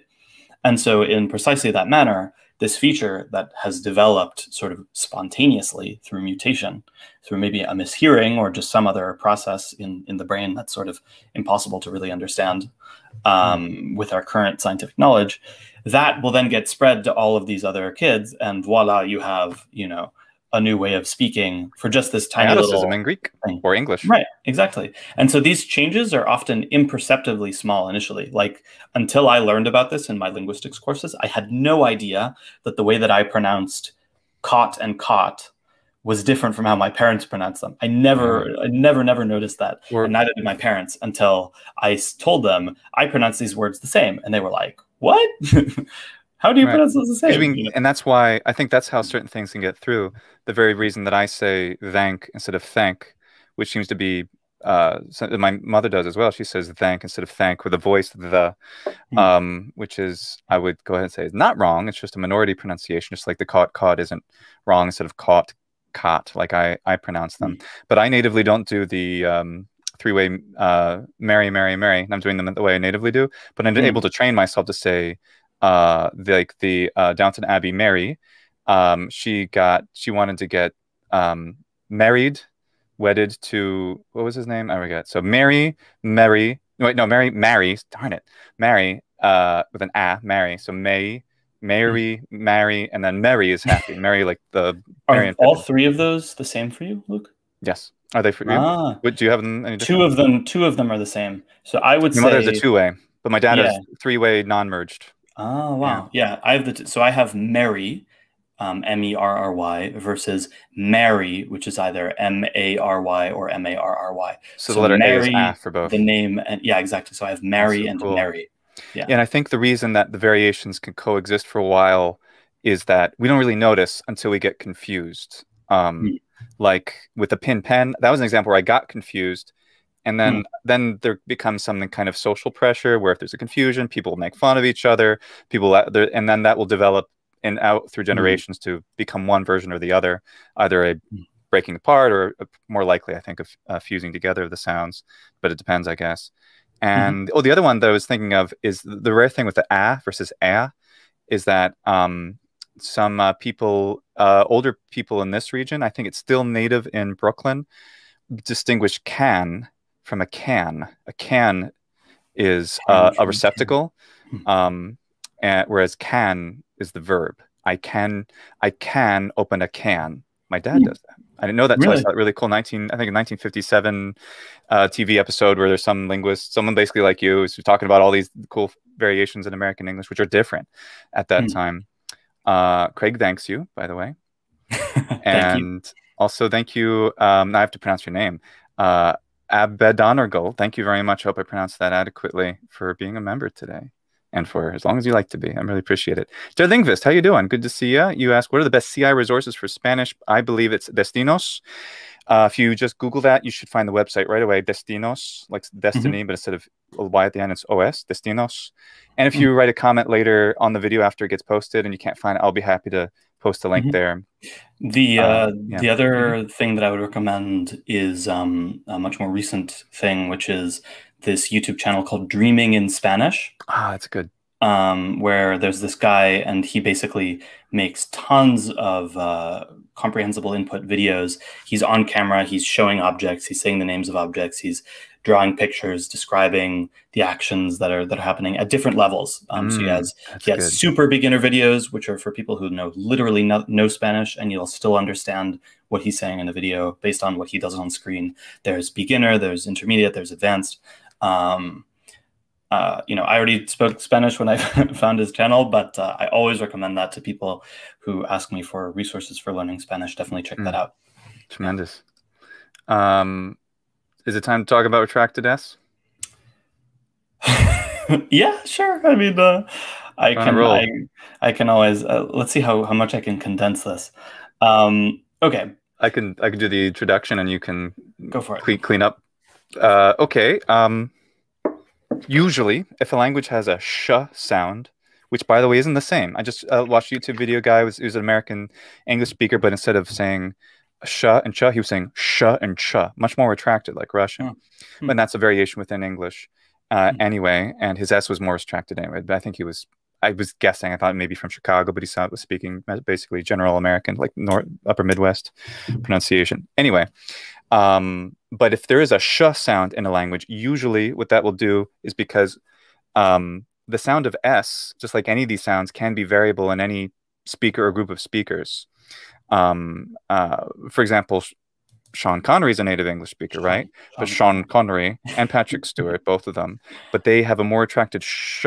If the tongue is more tighter, sh, which gives more space for the s to come back. Mm. So there's say the torpedoes number one, you know, Mm. like Patrick Stewart will pronounce, or Mm. um, sh- uh, shaken not stirred. So the Mm. sh- so there's and so when there's a sh, usually that pushes the s sound forward as it does in Mm. Italian, and I think the majority of native English speakers Mhm. uh, to have a s, which is more laminal. It, I I realize it. This is how I describe it, and, and please clean up for me linguistically here. But I realize it by bringing the tip of my tongue essentially below the lower incisors s- for the way I natively do it, and then bring it uh, behind the top incisors, s, which ends up resulting in a lower pitch. S- sh- Mhm. sh- Mhm. Toccate. Yeah. Toccando. okay, allora. Um, so, yeah, I mean, in terms of the actual position of the, the tongue tip um, for these different S sounds, it can vary from speaker to speaker and language to language. And it's actually often, that's actually often not the important thing in terms of hearing the difference. It's how far forward or how far back the tongue is when you're making this sound that can be anywhere on a spectrum from sa in, in English, or maybe even further forward in, in some languages, to sha um, also in English, right? So in English, I have sip and then I have ship.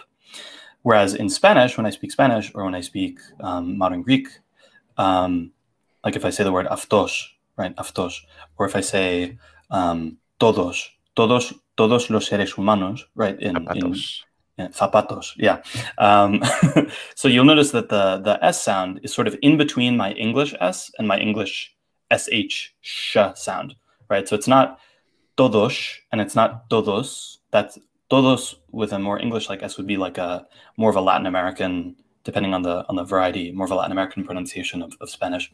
But todos, sort of between the two, um, is how peninsular, like European Spanish tends to sound. And um, this is just sort of a, a, phonetic detail that's kind of fun to work on if you're really into the idea of like trying as best as possible to reconstruct the, the ancient sound of, of Latin. But if that's what you're into, which is what I'm into, um, then basically um, there's a couple of different sources of, of evidence. So one is that, so as Luke was mentioning, languages that have a sh sound um, as well as an s sound tend to have an s that's more fronted, that's more like s. And the reason is that if you have s and sh, they're very close together in the mouth, and so you you naturally, um, you know, speakers of a language naturally over time, if they have sounds that are too clustered together and they have space to push them apart, they will generation to generation because it's more efficient. Your brain is better at distinguishing sounds that are more different. Um, and so the other piece of evidence is that across Indo-European languages, which are all you know languages that descend from one common ancestor five to six thousand years ago in the Central Asian steppe, so that's everything from the Celtic languages to the Germanic languages to the Italic languages to Greek to the Slavic languages, Baltic, Albanian, Armenian, Indic, uh, um, Iranian, Persian. Um, I hope I got everything. Um, all of the languages that have developed a sh sound, and we can we can observe when these sh sounds develop, end up with an s that's more fronted for the most part. So in English, Um, I have the word shirt, right? Um, we also have the word in English skirt. It turns out that these are from the same root, right? They, they're um, they're from the same Germanic root. Shirt is the native English word, and skirt was borrowed from Old Norse, um, which was spoken by by Vikings um, that came during the Danelaw, um, which is when they were in control of parts of England and Scotland. Um, and if you listen to modern Icelandic, um, there was no there was no palatalization of skja before um, vowels like e or e, um, which in English, ska became sha. So the original word would have been something more like skirt, and then in English it became probably scha, and then scha, and then sha. Um, so if you compare, for instance, uh, the word ship, like a boat in Icelandic, is skip. And skipper. Um, right, skipper, yeah. And a skiff. Right, exactly. Um, those are from the same root, but just from different languages that developed Mm. differently. A um And so Icelandic Yeah. never developed a sh sound. And Icelandic has this sh, this slightly retracted s sound. You'll hear it if you ever listen to an Icelander speaking English, um, or if you just listen to Icelandic, they have this retracted s sound. Similarly, Dutch um, never really developed a sh sound yeah. through any kind cold. of palatalization. cool. Right, exactly. Yeah. Um, Coal. or yeah, Or um, and in Dutch, It's once cool. again, if you listen to Dutch speakers, they have this very prominent retracted S sound. I love it. Great. Um, there's other examples. Greek, in the dialects that didn't develop a sh sound, so standard modern Greek does not have a sh sound. The S is, is retracted. Um, Sardinian, which is the only Romance language that didn't develop a sh sound because it didn't undergo palatalization. So Sardinians still say um, conoscere, conoscere for conoscere in Italian. Um, and they, in in particularly the more conservative dialects that have taken on less influence from, from Italian, still have this sh sound.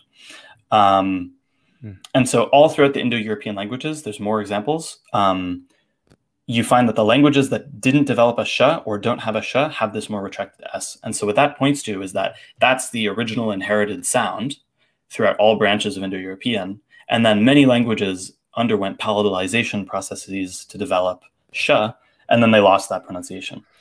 Um, there's other reasons we could go into for why we also would say that classical Latin in particular, which had not undergone that palatalization, has that same S sound that you hear in Sardinian or, or Spanish. Um, the story in Spanish is more complicated, although it's still very good evidence for this, but I, I don't think we have time to. I would love to talk about the history of, of sibilant sounds in Spanish in another video. Let's do we- that. Let's do yeah. that. That'd be cool. And I wanted to add too. We should do it just a video on on retracted S because it's it. such a it's such a meme at this point. That Do it. uh, We got time. We're gonna have time real soon. We're gonna make it happen. And I want to add those of you out there. you're- I, thanks everyone for your, these questions are great, and we're gonna try to answer. And your comments are really great too. I'm trying to answer as many uh, as I uh, as we can uh, for today. If we don't get to them, uh, please leave a comment later on after the uh, live stream is posted, and I or Mm. Raphael will uh, respond to you, and we we'd love to. So hope hope we can get to everything we can uh, today. Can like oh, and there's an example. Can that's a learned alteration I did to my own pronunciation. Can instead of can. Can, Mhm. which is I think people around here would say can. I say can now just because I'm in front of a camera and I do audio Mm. stuff. I'm like, mm, I like the sound of a can better. It sounds more like Patrick Stewart. You know, it's that kind of. There's no good reason for it except that I have an aesthetic preference for it now. I say aesthetic instead of aesthetic, which is normal. I say accept instead of accept for all these. These are weird things that I started to do just for clarity. I mean, instead of clarity, which is what I used to say, clarity, and I say I would say clarity. So I'm just making fun of myself because I'm hyper conscious about pronunciation. Raphael has no problem, however, being completely himself. and uh, good good on him for that, I'd say. Uh, let's see. This is a, an easy one, I think, to answer, right? How do we know which syllable is stressed in the IPA system? Got a little tick that's to the left of it. Yeah, there's a, so there's a little. It almost looks like an apostrophe. Mhm. If if you see that to the left of the stressed syllable, it means that that following syllable is stressed. So, Yeah. like in the English word record, the where the re is stressed, there will be a little tick slash apostrophe looking thing right before the re, and in the word record, where the chord is stressed, there will be a little apostrophe tick thing before the chord. If you go on Wiktionary Mm. or something and you type in those words, you'll see that little tick in the in the transcription. All right. I'm still catching up here. Uh, da, da, da. Give me a second, everyone, if you can't, Oh, darn it! Oh, it cut off a whole bunch. That's what I was afraid of. That's why I try to get these earlier ones because if I if I missed your if you asked something before 5:36 p.m. Eastern time, I unfortunately can't look at it now because it just went away. That's a limitation. Why don't we say if anyone has any questions, just type it type it now, and then we can uh, we can try to respond to like one or two more. Well, yeah, I, um, I'll, yeah, that's a good idea. Da, da, da, da. Well, I'm trying to. We also have members here, and I want to make sure we get our members. Uh, hey, again, um, uh, versus a good comment, I think Raphael is that the uh, the the data are probably palatized in, near dietie. Oh, so, you're saying dietie instead of dietie. Dietie. Ah, uh. It's it's closed vowel. Yeah. Thank you. Thank you. Yes, my Russian is very rusty. I, I, think it's because of the palatalization of the following consonant, right? Right. Isn't that cool? It's, I love how I learned that. Yeah. It's like, oh, there's a rule. Hmm. It's, great. Uh, hold on, I'm skipping through here. And um, yeah, we do. Raph's the best. Uh, You're the best. thanks, man. Uh, just tagging along. Um, not to learn vowel length independent of stress in Latin because it doesn't sound natural. I uh, I think we we addressed that, but it, it would Finns, Finns and Hungarians and Japanese people everywhere are, are crying right now. I mean, well, it depends. I, I've done plenty of recordings, older ones especially, where I I overemphasize the thing in order to not necessarily sound natural, Right. but for pedagogical reasons. And I would would would go ahead and I mean, if you listen to my recent Latin stuff, I think I have a, a more natural, Mhm. fluid sound. I'm also also constantly studying Italian in order to Yeah. uh, make That's actually Mhm. that's a good that's a really good point Yeah. um, in terms of the naturalness of, of vowel length. It's true that often when a lot of people who don't have it in their native language are learning it because they hear this term long vowels, they think, okay, I have to take the vowels that I already have and make them longer. Yeah. And so you get you know people saying like you know consonants right or something or uh, romanos or whatever really like hammer it or something. The way I used to do when I was trying to pedagogically emphasize. Right, exactly. Try to emphasize it so people can hear it. But if you listen to a language with- vowel length, the key is not to make your long vowels long, it's to make your short vowels really Yes, short. Yeah. So, for Like instance, in ago, Japanese, fero. I'm, s- oh, Yeah, go ahead, ago. Japanese. Yeah. Or yeah, or in Japanese, you know, koko, right here, koko. Mm-hmm. It's not koko because if it's if you know, it's not. I don't say koko for here and then koko for high school. I say koko for here and koko for high school. Hmm. And koko, I mean, that's a perfectly sayable normal word with long vowels. Cool. Yeah. The key is to Koko distinguish is to say koko very, very, you know, uh, get that that sort of staccato rhythm down. Mm. Um, yes. Thank you, um, PMT Lynch for being a member. Really appreciate it. Thanks. That's kind of you. Uh, Ioanni uh, This is uh, usually uh, Ioannis usually frequents the um, ancient Greek through Latin on Scorpio Martianus. Thanks for being here. Mm. This is a really complicated question, which if you write in the comments, I think we could get to it. So so thanks very much uh, for because we love we love to, but that's a whew, I think that's a big mm. uh, question. Uh, do, do, do, do. Trudging forward, everyone. Doom. Uh, this is this is me making making vamping sound. This vamp. Uh, oh hey. We we you you say thank as well. All right. All right, the linguist. No, it's spreading. No, I'm kidding. No, it's I'm been around. a- I think it's my uh no. You're you're not, you're going to prescribe yourself not to be a, a prescriptivist, even if it kills you. Um, exactly. yeah, yeah. Thank uh, or thank thank thank or or you're a thanker. Um, yeah, the thus it's basically because if you look at other Western Germanic languages like uh, Dutch or, or German, it's it's dank or danke with a duh, right? Uh, What basically there's two kinds of um, there's there's a certain they, they derive from a the or a th sound, and there was different in the different varieties of older Germanic languages, and it it seems, and I'm absolutely not a specialist in this. We should probably ask Jackson Crawford or someone. Hmm. Um, that the uh, that certain Germanic languages had the unvoiced version, and one of them I think was Anglish, the Angle language, the Angles language, whereas West Saxon, the West Saxon had the more the, so the versus the, at least for that word.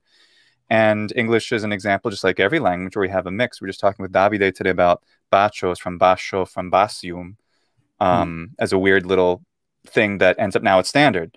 Um, in my case, my pronunciation of thank isn't standard because I say, well, I guess thank. I think that's the less standard thing because we have we have this and that.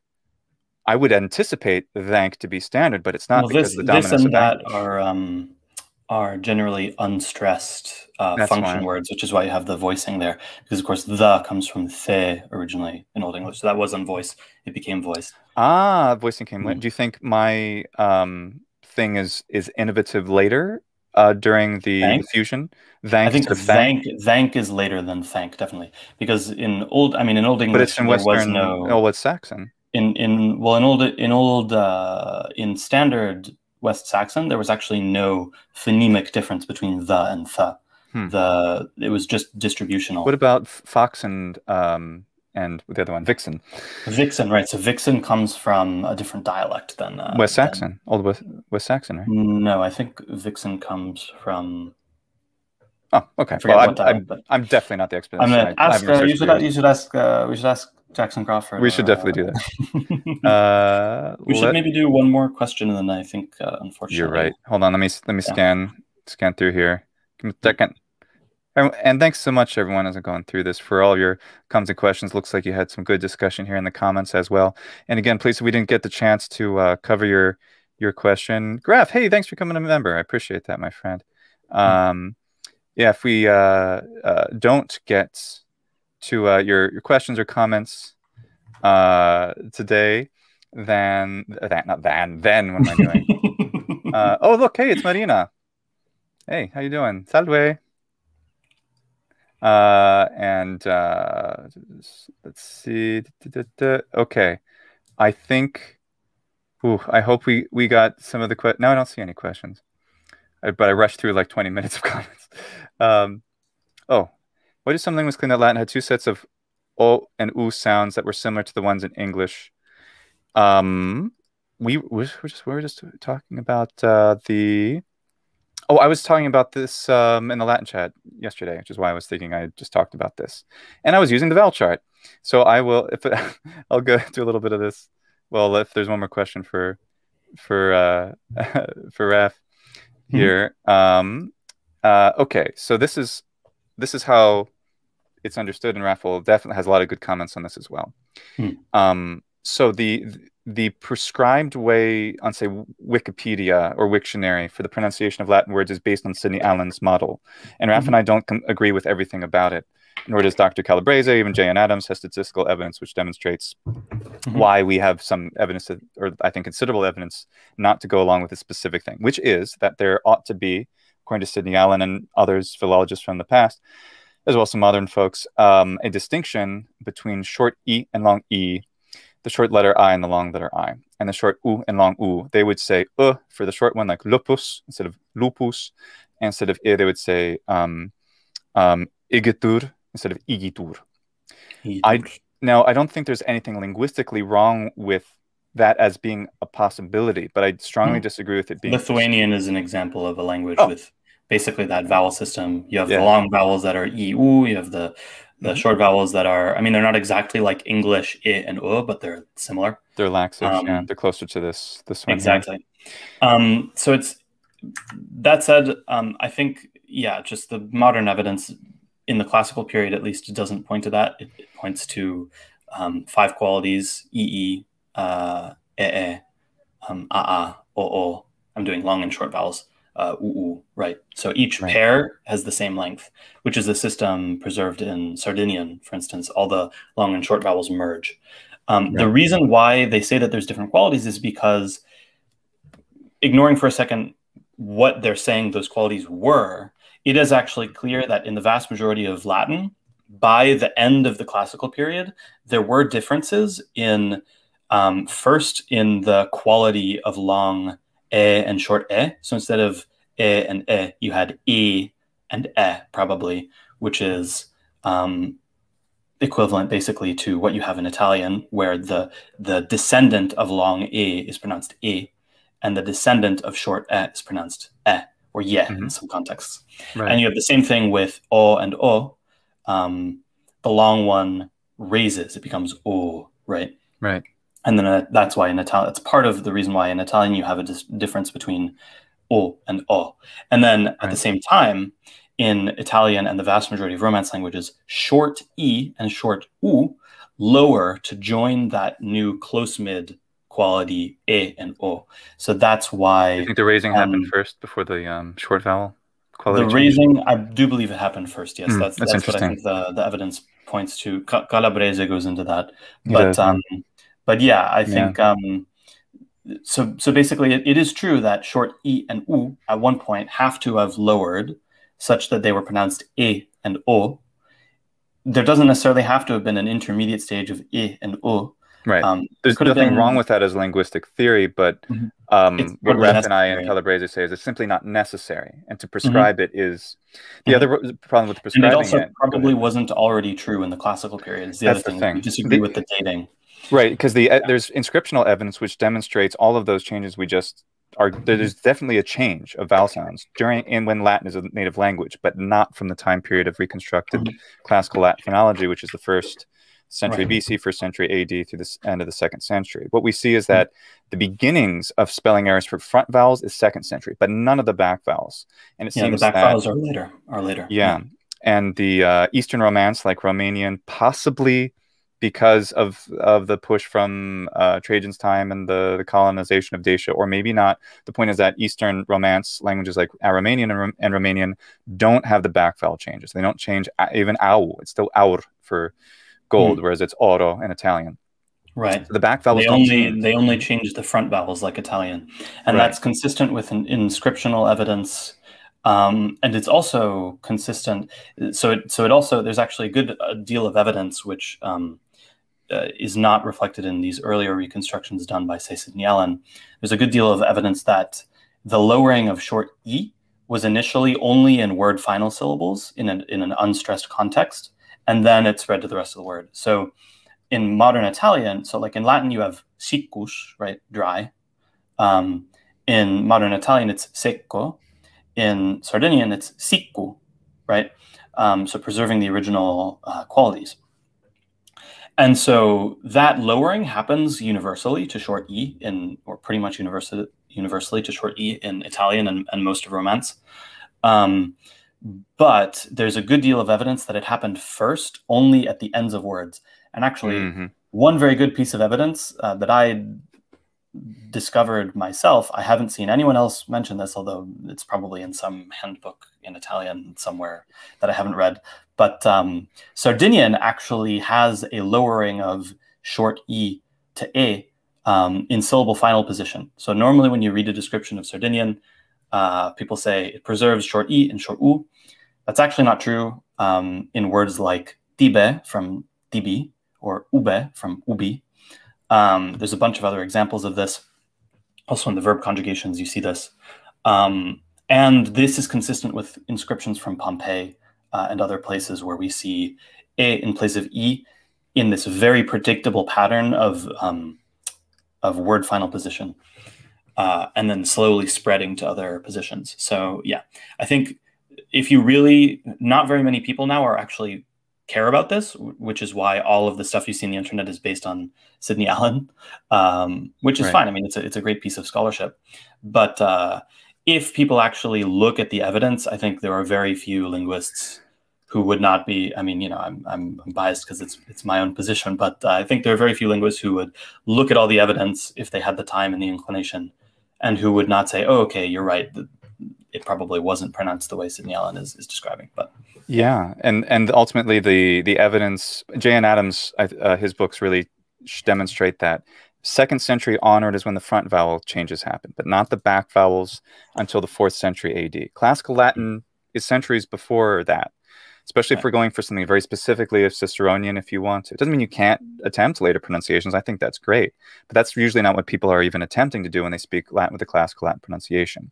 Mhm. So um, the evidence just doesn't support the conclusion that there ought that there necessarily is based on spelling errors uh, and other other things. And so I, I aim for the the simpler one. I like it aesthetically as well. I don't blame a single person who wants to use a Sidney Allen system. We can all communicate just Totally. fine. Uh, Ioanni, you asked a good question, which we don't have time for, but we should do a whole podcast, a whole chat, I think, Rafa, on this. Why is it hard to hide our accent when speaking another language?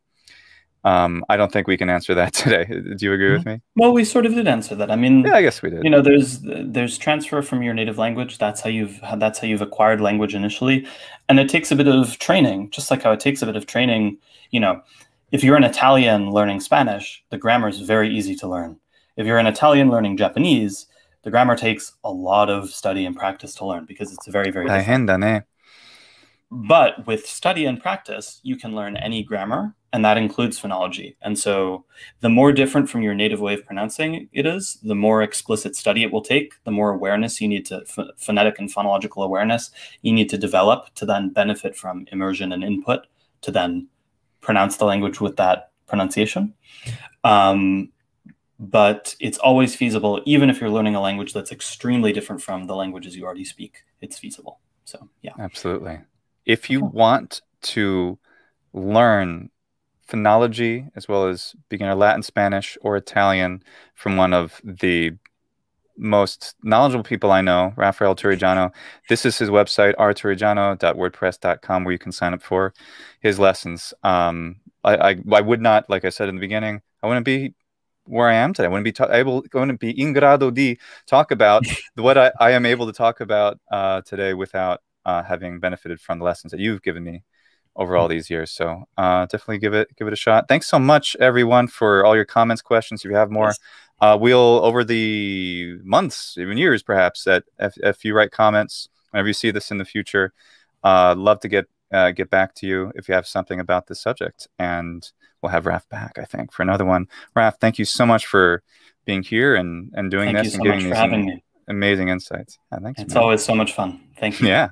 And We'll thank you to uh, everyone. Yeah, yeah, yeah, definitely. Nee, nee. Grazie a tutti, eh? Gratias, vobis. Ago. Ah, sì, eh, eh, sì, sì, se- servo nosteres latinus, recte, recte digis.